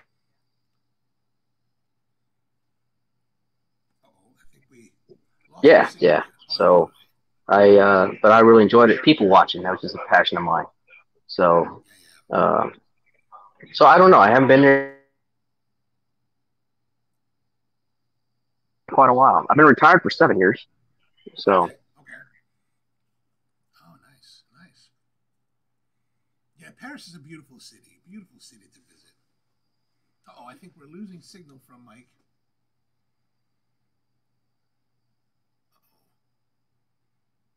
Yeah, but if you ever go to Paris, Paris is a wonderful little city. I I personally haven't been there. It's, oh my gosh, it must be pushing ten years. But there's this one little cafe in the Sixth. It's a, I think it's called the Cuban cafe, and it's got jazz music inside, and you can sit outside and smoke. It's really a wonderful, wonderful spot in Paris. So if you ever get to Paris, that's a great place to go. But we're smoking the the Aganorsa Rare Leaf Reserva. Uh-oh, let me see. Oh, there we are. And um, it's been a great cigar. A lot of notes of cacao and coffee, as well as some nice red pepper notes, a little bit of leather, and then there's a little bit of a, a, a lemon zesty citrusiness to it.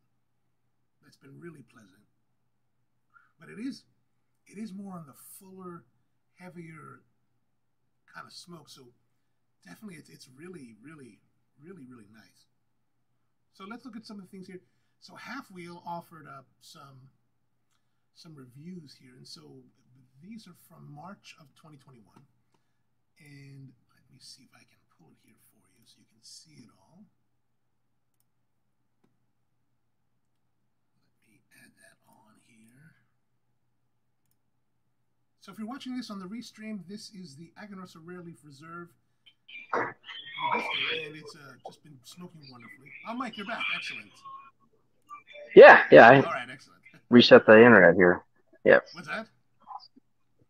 I, I could hear you the whole time, but uh, I had to get a stronger connection here. So Oh, no worries. Uh, no worries. Yeah, and I just heard you say uh, you're reading on halfwheel about the uh, the reviews. Yeah, yeah, they were talking about the. Uh, let's let's pull that up here so everyone can see it. Um, so Apple gives it an 89, hmm and um, which I thought was kind of interesting. They they, they just talked about um, said a fairly pedestrian first third, but handsomely rewarded if you stick with it. I, I think it's. I didn't have any of that that lowness in the first third that they experienced. I didn't either. I uh, I didn't either. I mean, I I I, uh, I would say, uh, you know, I, I read all the reviews because I want to see what's going on with the product and what people are thinking. Uh, but uh, and it's very important as far as uh, retailers and also brokers and reps on the road to have reviews from uh, people like halfwheel, uh, Cigar Coop, who is uh, you know one of my favorites to listen to. Boston Jimmy's another one. Uh, but halfwheel, uh, I mean, they uh, you know, with their publications, I mean, they're probably one of the best knowns to uh, uh, pay attention to. I say that though, uh, does not mean I always agree uh, with reviews that I see. Um, that's something we talk about a lot on this show is about the, the, the way people score and how it Yeah. how- one of the things that because I do a lot of uh, judging of competitions in coffee right. so we we really press our judges to to not just give a score but also have the score match their descriptions you know so that Yeah. they're, they're talking in a certain way it should reflect the score and you know like so and i would say that these were interesting because like i'm looking right now at the um the one from from uh cigar authority and they gave it a Mhm. 93 and then stogie Yep. it stogie press gave it a 92 Stogie Press. the, Uh the interesting thing that I thought with, between these three was that they had a lot of shared notes, uh, flavor notes. So I Mhm. think that you know it, it's nice to see that. I think maybe I would think that for this, in my experience, for this experience, I think I, I would think that it's a little bit low on the on the scale for half wheel, but I think that the other two, um, Cigar Authority and Cigar and Stogie, Stogie Presses, pretty much on the money with that. Yeah, I uh, I think you made a good point there. Um, uh, that's exactly what I look for when I'm looking at multiple reviews. Is I'm looking to see consistency in the description, not consistency in the rating. Yeah, absolutely. Absolutely. Ah, yeah, this is really nice. How's your cigar turning out? Ah, great, great. Uh, I would say my palate's shot, but it's not. This is probably my fifth one today. So, um, I, uh, I, you know, I, I haven't had a rare leaf in, in a week. I probably Dave has them here, so he's one of our select retailers here in Pittsburgh. So I'll probably pick up a few uh, before I leave the shop here. So for the in, in a city like Pittsburgh, where there's such a large competition of of cigar shops that are that are Mhm. you know in tandem, is there only one select dealer for Aganorsa? There are three select uh, Aganorsa retailers in Pittsburgh. So uh, the one I just mentioned here at Leaning House. Uh, the second would be would be a store called Old Allegheny, uh, and it's uh, Old Allegheny Smoke. It's uh, Steve Walrock is the owner. They're a select retailer, and then there's another uh, store called uh, uh, Mark Holbein, who has Superior Cigar Smokes, uh, two locations, but it's Natrona Heights location. So uh, I kind of purposely wanted that to happen with just three. I was hoping not to have more because uh, I didn't want to saturate the market. It just makes those shops a little bit more, you know, approachable. It gives them a little bit more attention. And uh, and I mean, I have nine retailers in Pittsburgh that do carry Aganorsa products now. So and they do all get along. So if somebody goes and asks for rare leaf, they'll just they'll say, hey, one the nearest place is Leaning House or Old Allegheny or whatever. So I see. So is it is that to say that it's up to you to decide which retailer? oh no, no, anybody that calls me wants to order, that's their decision. Mm. So uh, eh, the main reason I do that is uh, see the the three that I mentioned uh, have been supporting our product for quite a while. So um, if I, I did get quite a few calls that say they wanted to be a select retailer. I uh, I kind of talked them out of it uh, because uh, I, I really don't want to have a retailer, and Terence Reilly is the one that kind of pushed this to me, and I agree with him. Uh, we want to build you up to be that account. We want to be a support. I don't want to sell you a one-time package, and then next you don't call me again for six, seven, eight months. You know, I don't want you sitting on a lot of product. I want you to be able to have that support that I've already built up with you already, and that way, when it's time for you, when you want to be a select retailer, uh, it's absolutely nothing. It's easy flow for you to sell anything and everything that's in your shop because it's already been going on for a while. If you've never carried our product before and now you have Rare Leaf, I don't want people coming to your store just to buy the Rare Leaf. You know, we have, although it's a great cigar, you know, we have quite a uh, lineup of cigars for you to try. And I'd rather uh, build up shops with our core product, our core line with our Lunatics, our JFR, our Aganorsa series. Um, and uh, and then Rare Leaf is kind of like a, a bonus on top of that. I see. I see. So is it for your for your distribution with Aganorsa? Is it it's just limited to those three JFR, Lunatic, and the Aganorsa Leaf brands, or are there other? Uh, no, so our, our entire lineup, uh, Aganorsa. So we distribute. Uh, so uh, as a retailer, a retailer can buy from me. They can buy uh, the Aganorsa Leaf series, which is Habano, Corojo, Maduro, and Connecticut. Uh, the JFR series, the Lunatic series, which is in three categories, the Loco series, which are short figurados, the Torch Lunatic, which have a small shag foot on them, and then the standard Lunatic, which uh, everything from the 8x80 to the short uh, Robusto. Um, and then you have the Guardian of the Farm that uh, you can order from me as well the Guardian of the Farm, and the Guardian of the Farm we call it Night Watch, which was uh, released two years ago with our Maduro. It's actually a Corojo 99 shade grown Maduro. So um, it's a very unique Maduro, uh, different. It kind of takes the bite away from the Corojo and smooths it out quite a bit. Um, so, and then we have our anniversary series, uh, which we still make. So, uh, our 2013, 14, and 2015, we still make uh, make those and distribute those.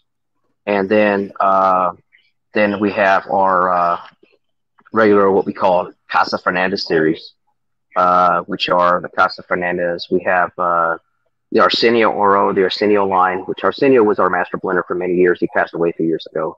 So that was a blend that he made for himself. I'm sure you had it when you were down there.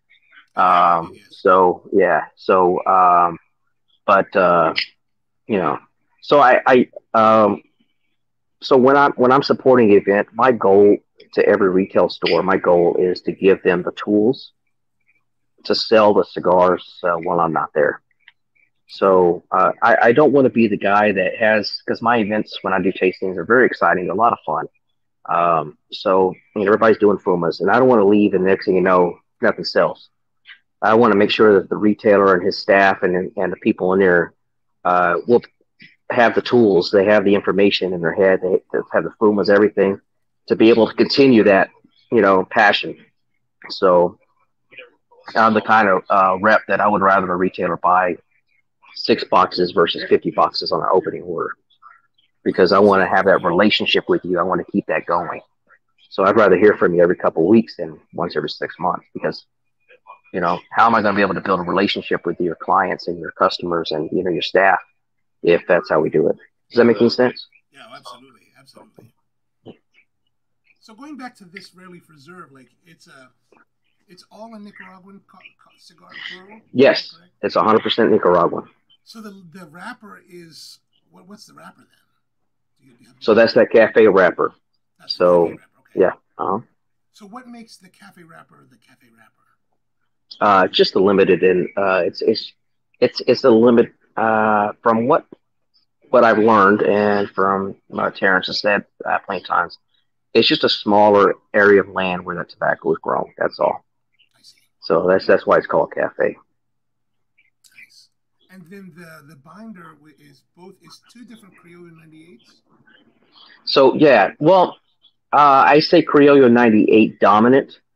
So um, I uh, I couldn't tell you, not because I'm keeping it from you, but just simply I don't know Okay. uh, the exact makeup of the Criollo versus the Corojo in it, but I can definitely tell you that the the Criollo is much more dominant in there. So I, I can imagine that our Corojo is probably uh, there's some Corojo in the filler, but I can imagine that the the binder plus the filler combined uh, would have some of that Criollo. So as you're probably tasting right now, Oh yeah, yeah. It's it's really really a, a lovely cigar. Beautiful. yeah, It's actually quite heavy now. It's getting yeah, heavier. yeah. Holding up well. You know, I say that a lot because uh, there's a there's a common misnomer that I used to do the same thing, so I'm just as guilty. Um, people just come to retail stores, and the first thing they would like to say is, "What's your strongest cigar?" I want your strongest cigar. Well, what does that exactly mean? Um, so, uh, just because it's a Maduro doesn't mean it's going to be strong. You know, Right. now, and so what I do is I say, "Well, would you like our uh, our full flavor?" I don't even say full body; I say full flavor you know, uh, with the most robust flavor. Um, so uh, nothing that we make in Aganorsa, we don't have anything that's really full strength necessarily, but we sure do make a lot of full body. Okay.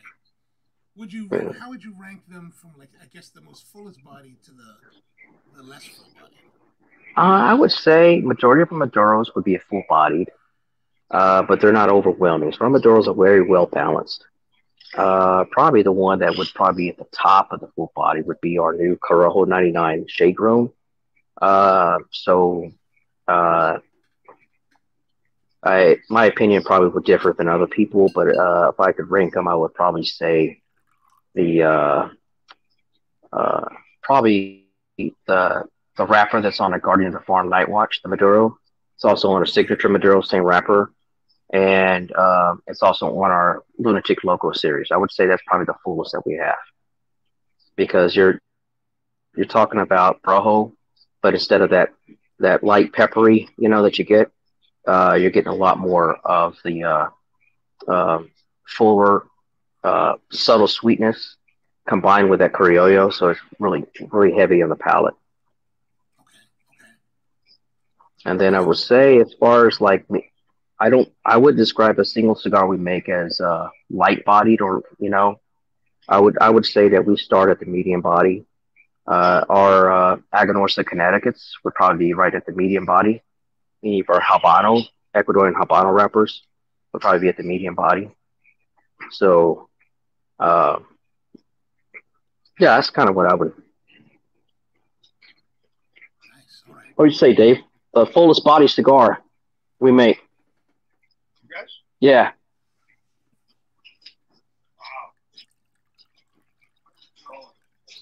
I was thinking one of the new Maduros.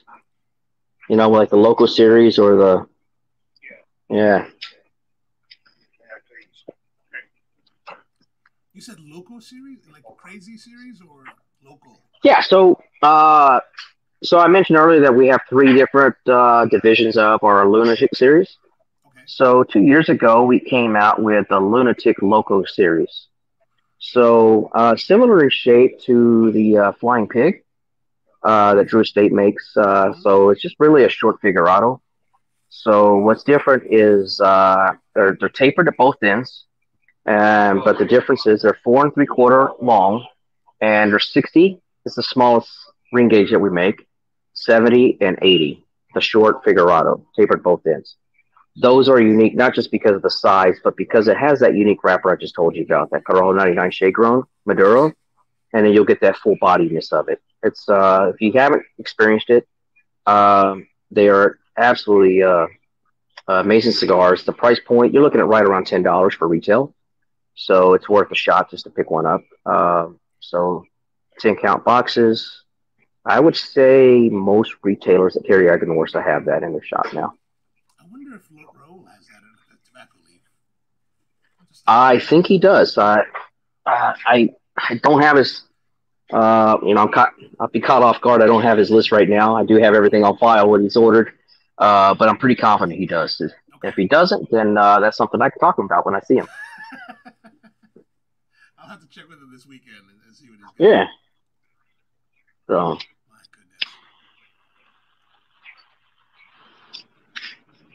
goodness. I will say about Rahul. Um, Rahul is not only a client. Uh, I would call him a close friend. Okay. Uh, yeah. So uh, when I started in this industry, um, he uh, was one of my first visits, and uh, right off the bat, uh, he pulled me aside. I thought, "Oh, what did I do wrong?" you know, and he pulled me aside and complimented me, Oh, and and so I, it, I really took it to heart because I just started in this industry, and so because of that, I mean, he and his father have been doing this for many many years. His father before him, um, so I, uh, I I really value his opinion, and so as a personal friend, and I would say a possible mentor, I uh, when I have to make any decisions in this industry of where I want to go next or what I'm doing now, uh, Rahul is one of three people that I call. oh, fantastic. Yes, Yeah, he's a good So, guy. He is a very good guy. Yep. Uh, so, and I, I, those that are watching this that have not been to the Tobacco Leaf, you know, with the new uh, uh, lounge, it's about a year old now, I guess. Um, yeah, that's the old diner. Uh, I, I really like the way he's designed that. But uh, if you ever have the opportunity to talk to his father and see his uh, his love for his son and the family business and how they just work so well together, uh, it's, it's just a fascinating concept. Just uh, you, you don't feel like you're in a business; you feel like you're in a family. So Absolutely, absolutely. Yeah. I mean, I remember his father Harish was. Um, yes, I don't remember. I didn't know him when I was in high school, hmm but I do remember going to the mall where his father's store was. yes, uh huh, And what we used to walk by. I mean, I've been in yeah, in, in it many times over the Yeah, years, sure. So yeah, yeah. They come quite a ways. Um, so. I'm I'm I'm very very very happy to partner with them. So uh, uh, I mean, all, all everybody I partner with, I'm excited about. But it just uh, it's nice when you uh, when you when you partner with a retailer that will really uh, pour out to you and be an open book to you about anything and everything you want to know or hear about. So and that that that means a lot. Excellent, excellent. The only thing he's got to work on is I still would like to get a uh, Reuben sandwich there at the uh, at his uh, lounge, but there's I, I haven't found the kitchen in that diner yet. Uh, unfortunately, they took that out. Yeah. The, Yeah. county that he's in, they don't allow that. Unfortunately, yeah, yeah, I know. we're a little bit restricted here in Maryland. Mhm. Um, Yeah, I will say this too. Uh, I I found out uh, if you drive down the corner, that gas station in the corner, have you had the tacos from that place? Yes, yes, the R&R Taqueria, very nice, very nice. Oh. Oh my God, every single time, and every every time I'm with somebody that's you know with me, that's where I take them. No, Yes, that's a good place. Have you, Oh, have I yeah. turned you on to his cousin? His cousin owns a, uh, a, a, Indian restaurant called um, Royal Taj. no, not yet. It's maybe Yeah. about two miles from his shop, but it's Mhm. it's probably it's got to be the best Indian food in Maryland, easily. Sounds fantastic. Yeah, yeah, really Yeah. stuff, wonderful stuff. Yeah. definitely check it out next time you're out. Yeah. Yeah. I uh my boss is actually uh the one of my wholesaler boss is uh is Indian. So uh and, and he and uh Rahul are about the same age Oh, and they have the same personality and stuff. So uh talking about one of three people that I call, you know, my boss uh he's not just my boss, he's a mentor of mine as well. I, I learn a lot from him. I watch him. So I mean uh it's just uh uh he uh forward thinking, he's four steps away ahead in, in my mind as uh, everybody in this industry al- always has something going on. So And he also has a lounge in Philly. Is that correct? yeah, we own the Smoker Zone in Philadelphia. What part of Philly So? I'm not, I'm not familiar with. Uh, it's uh, North Central Philly. So uh, it's on Rising Sun Avenue in Philadelphia, and so it's Smoker Zone. Okay. Is that nearby the um?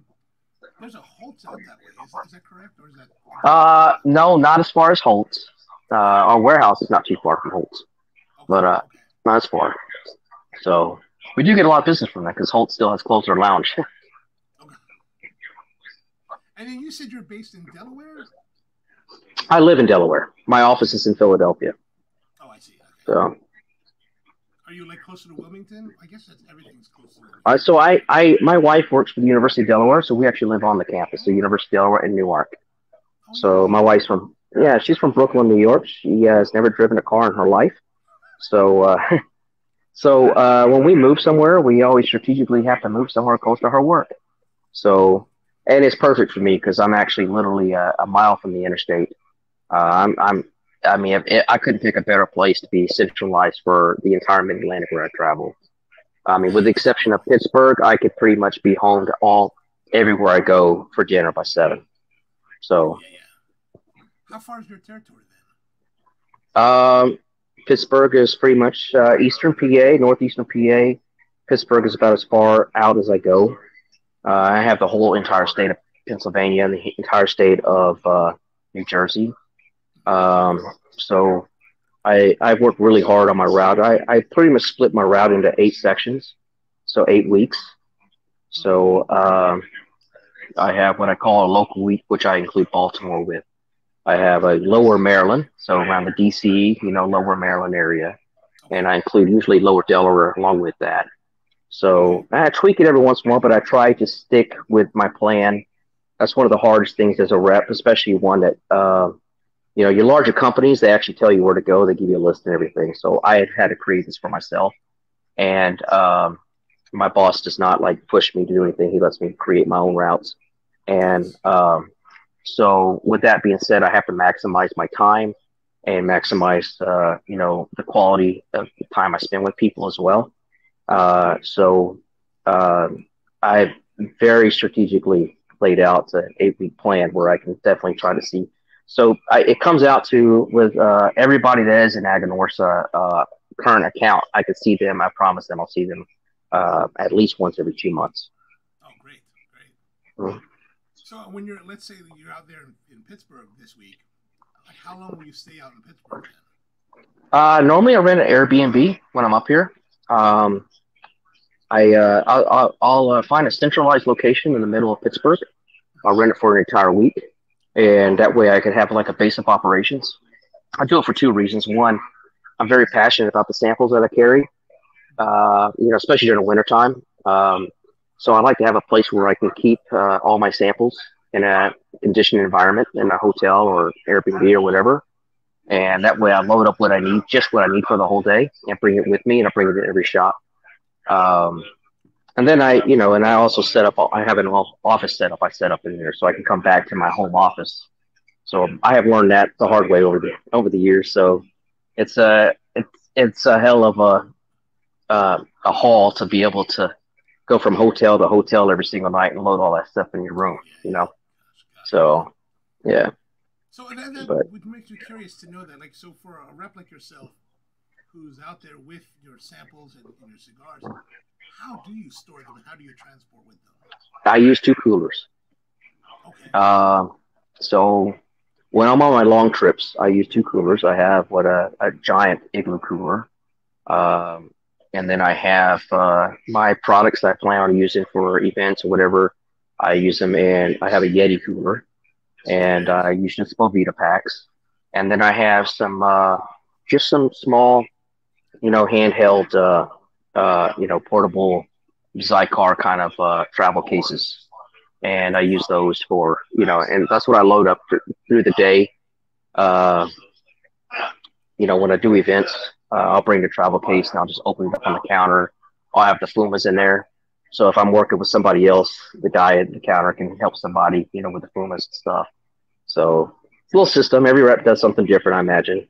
Um, uh, it's it's a nice network though. On the with all of us reps on the road, we all get along pretty well together. So it's a it's a tight uh, knit group.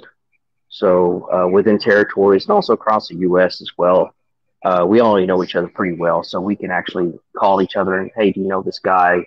Give me some tidbits before I walk in. Can you give me an introduction? Uh, you know, and they'll they'll do the same thing for me. Or uh, hey, this this shop just opened up. Did you hear about it? You know that kind of thing. So that's an extremely critical part of this this business. So I would I, lot of. Oh, sorry. I would say I I I, uh, I wouldn't do I would never. You know, they say you you know what your life's passion is. If you won the lottery today, what would you be doing tomorrow? Mhm. I'd be doing the same exact thing tomorrow, just with a nicer car. fantastic, fantastic. So, do you know? Yeah, what were you asking? Are there a lot of new shops and cigar lounges opening in your? Uh, I would say that the biggest growth of opening shops is the Baltimore area for me.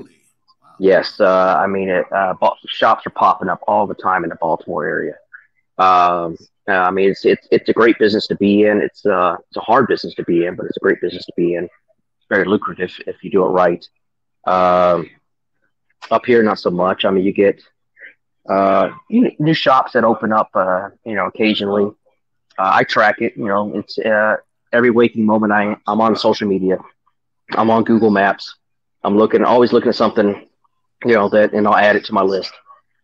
Um, New Jersey, not as much. Uh, the taxes for cigars are thirty percent, and New Jersey, so uh, but they'll pop up. But I would say probably the area that I have seen grown the most with cigars is the Baltimore area. Any thoughts on why that is?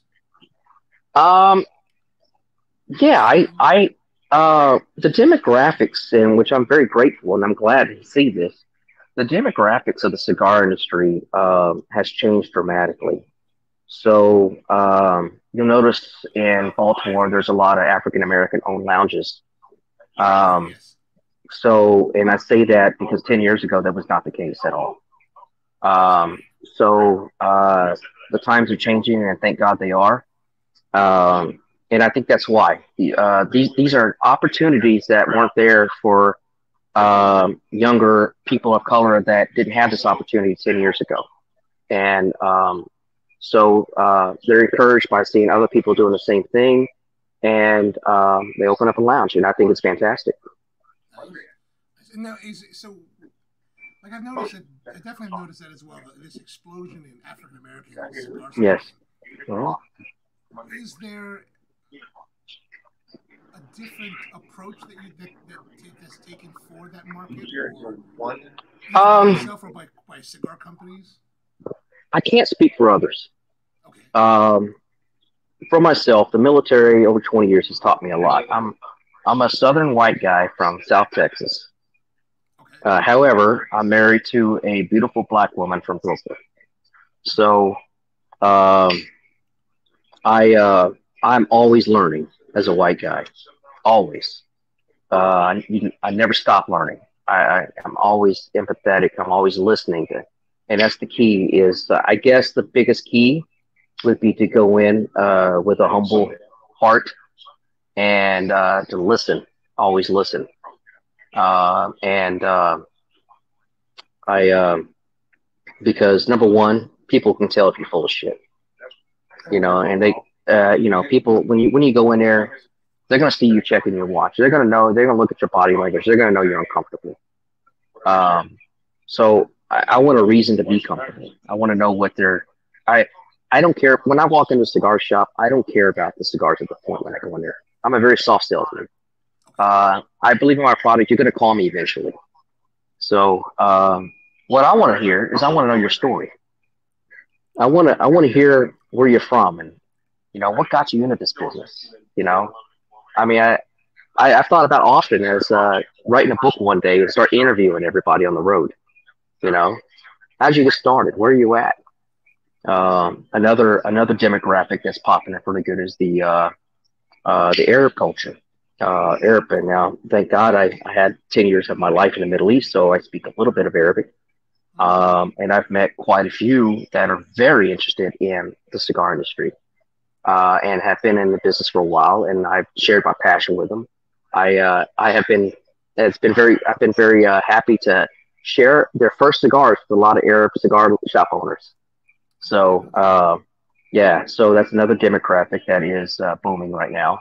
Uh, so part of any particular area, Arabic shops.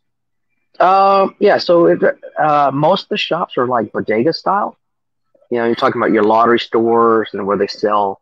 So that's how I started. That, that was my focus is going to those stores.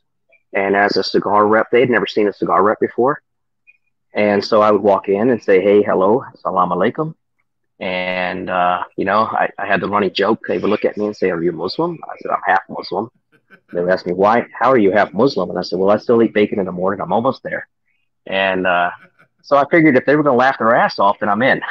and if they kick me out of the store, then I'm probably not in. Nobody's kicked me out yet. So, um, and and just uh, and you know, and you know, from what my lessons I learned in the Middle East is Arabs are very, very, very good at reading body language. You know, they're very good at it. So they'll know right away you're not sincere. And uh, and I'm very sincere. I, I, I want to know what's going on. And so challenges. And so what I what I started uh, when I did this, uh, this is how I learned about the demographics. Is I would go into a small little convenience store, kind of bodega, you know, they would have one or two cabinets on the side, but they're also selling chips and sodas and everything else.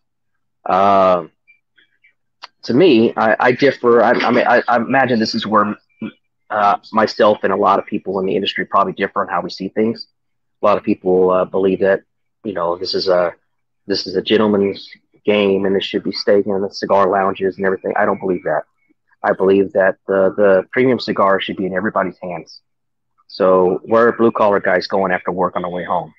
You know, uh, when they're not going to cigar lounges, where are they going? They're driving down the store, picked up a couple cigars, you know, from the, you know, from the guy they sell around the corner, the neighborhood store where they're selling. Uh, they got some milk there. They got lottery tickets and chips and sodas. Well, they also got cigars. So my job was to go in there and uh, show them how to manage those cigars. You know, how to properly manage their humid- humidification system, how to merchandise. Uh, then I would advise them on uh, what to sell and what not to sell. You know, uh, I, I always advise them just stick to the top ten. You know, uh, you know, don't go. Uh, I always advise them don't don't buy anything. You know, if somebody comes in and says, "Hey, I want uh, something, something, something, Liga Privada, whatever, exclusive, nineteen night, whatever," don't buy it because uh, the guy will probably never come back. Uh, you want to be able to make money. I teach them how to make money, and also at the same time, be passionate about it. So, um, and um, and I, I got a personal thing. If you're not going to be passionate about it, if I come in there and uh, you just treat me like I'm your employee, I won't go back. You know, that's not what I'm doing. I'm developing relationships. And so, but I, I have a very good success rate of having a lot of people passionate about this. Well, it's interesting. So- you mentioned that about the um, that kind of thought that it's a gentleman's thing. Like, I imagine that these bodega type places are, are buying their cigars like through brokers, brokerages. Yep. And Mhm. you know, by you being a rep, going in and like working with them, that that's kind of a, a whole nother problem for them, and, and Yeah. to bring them higher quality cigars to offer Yeah.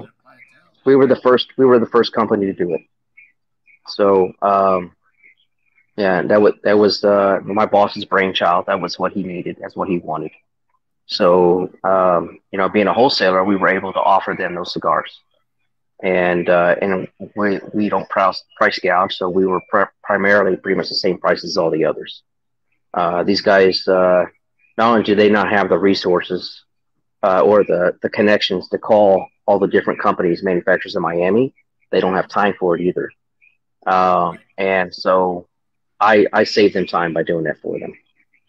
So I mean, now, these kind of guys like that are running these bodega type places. I mean, I imagine that the cigar part of their business is is a smaller percentage of their revenue.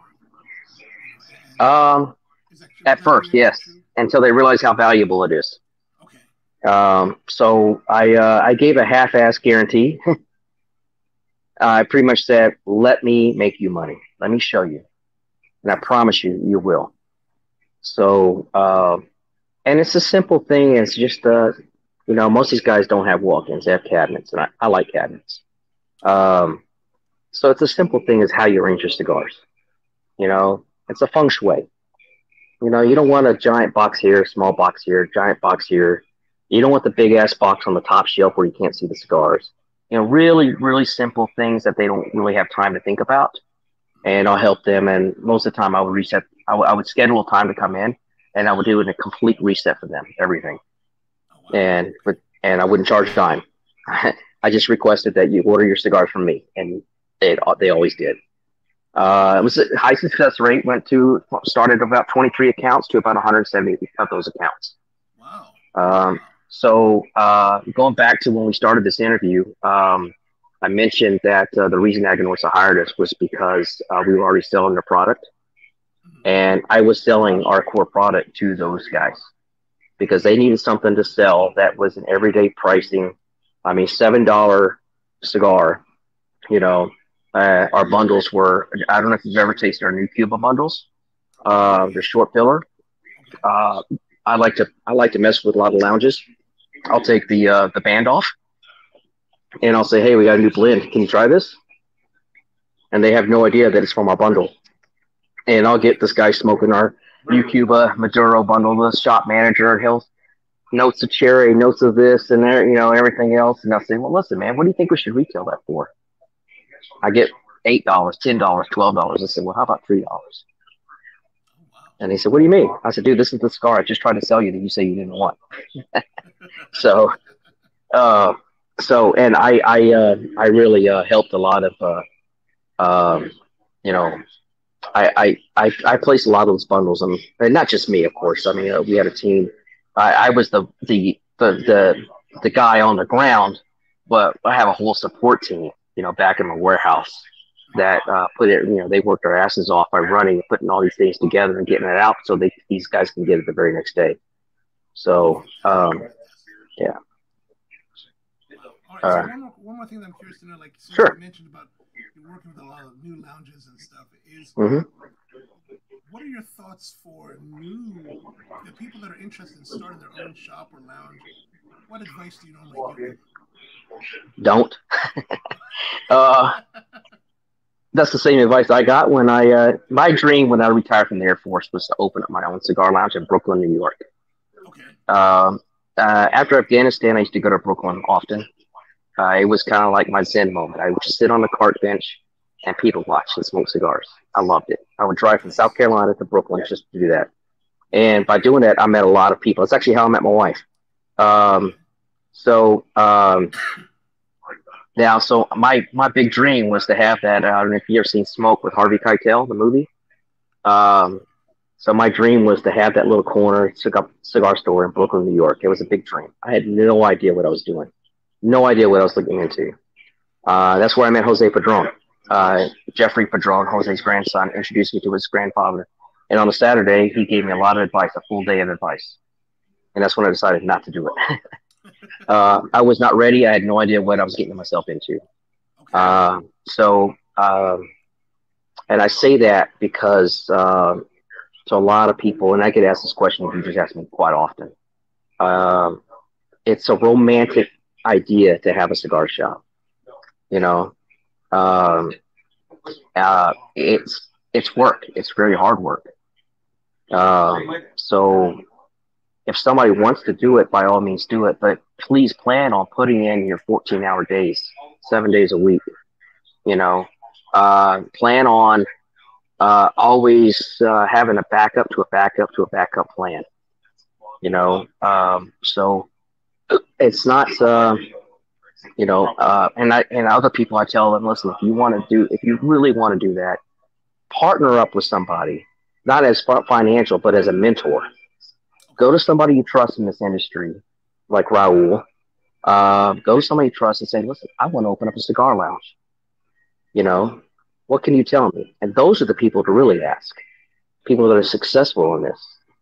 And ask them, hey, this is what I'm thinking about doing, this is what I'm looking at.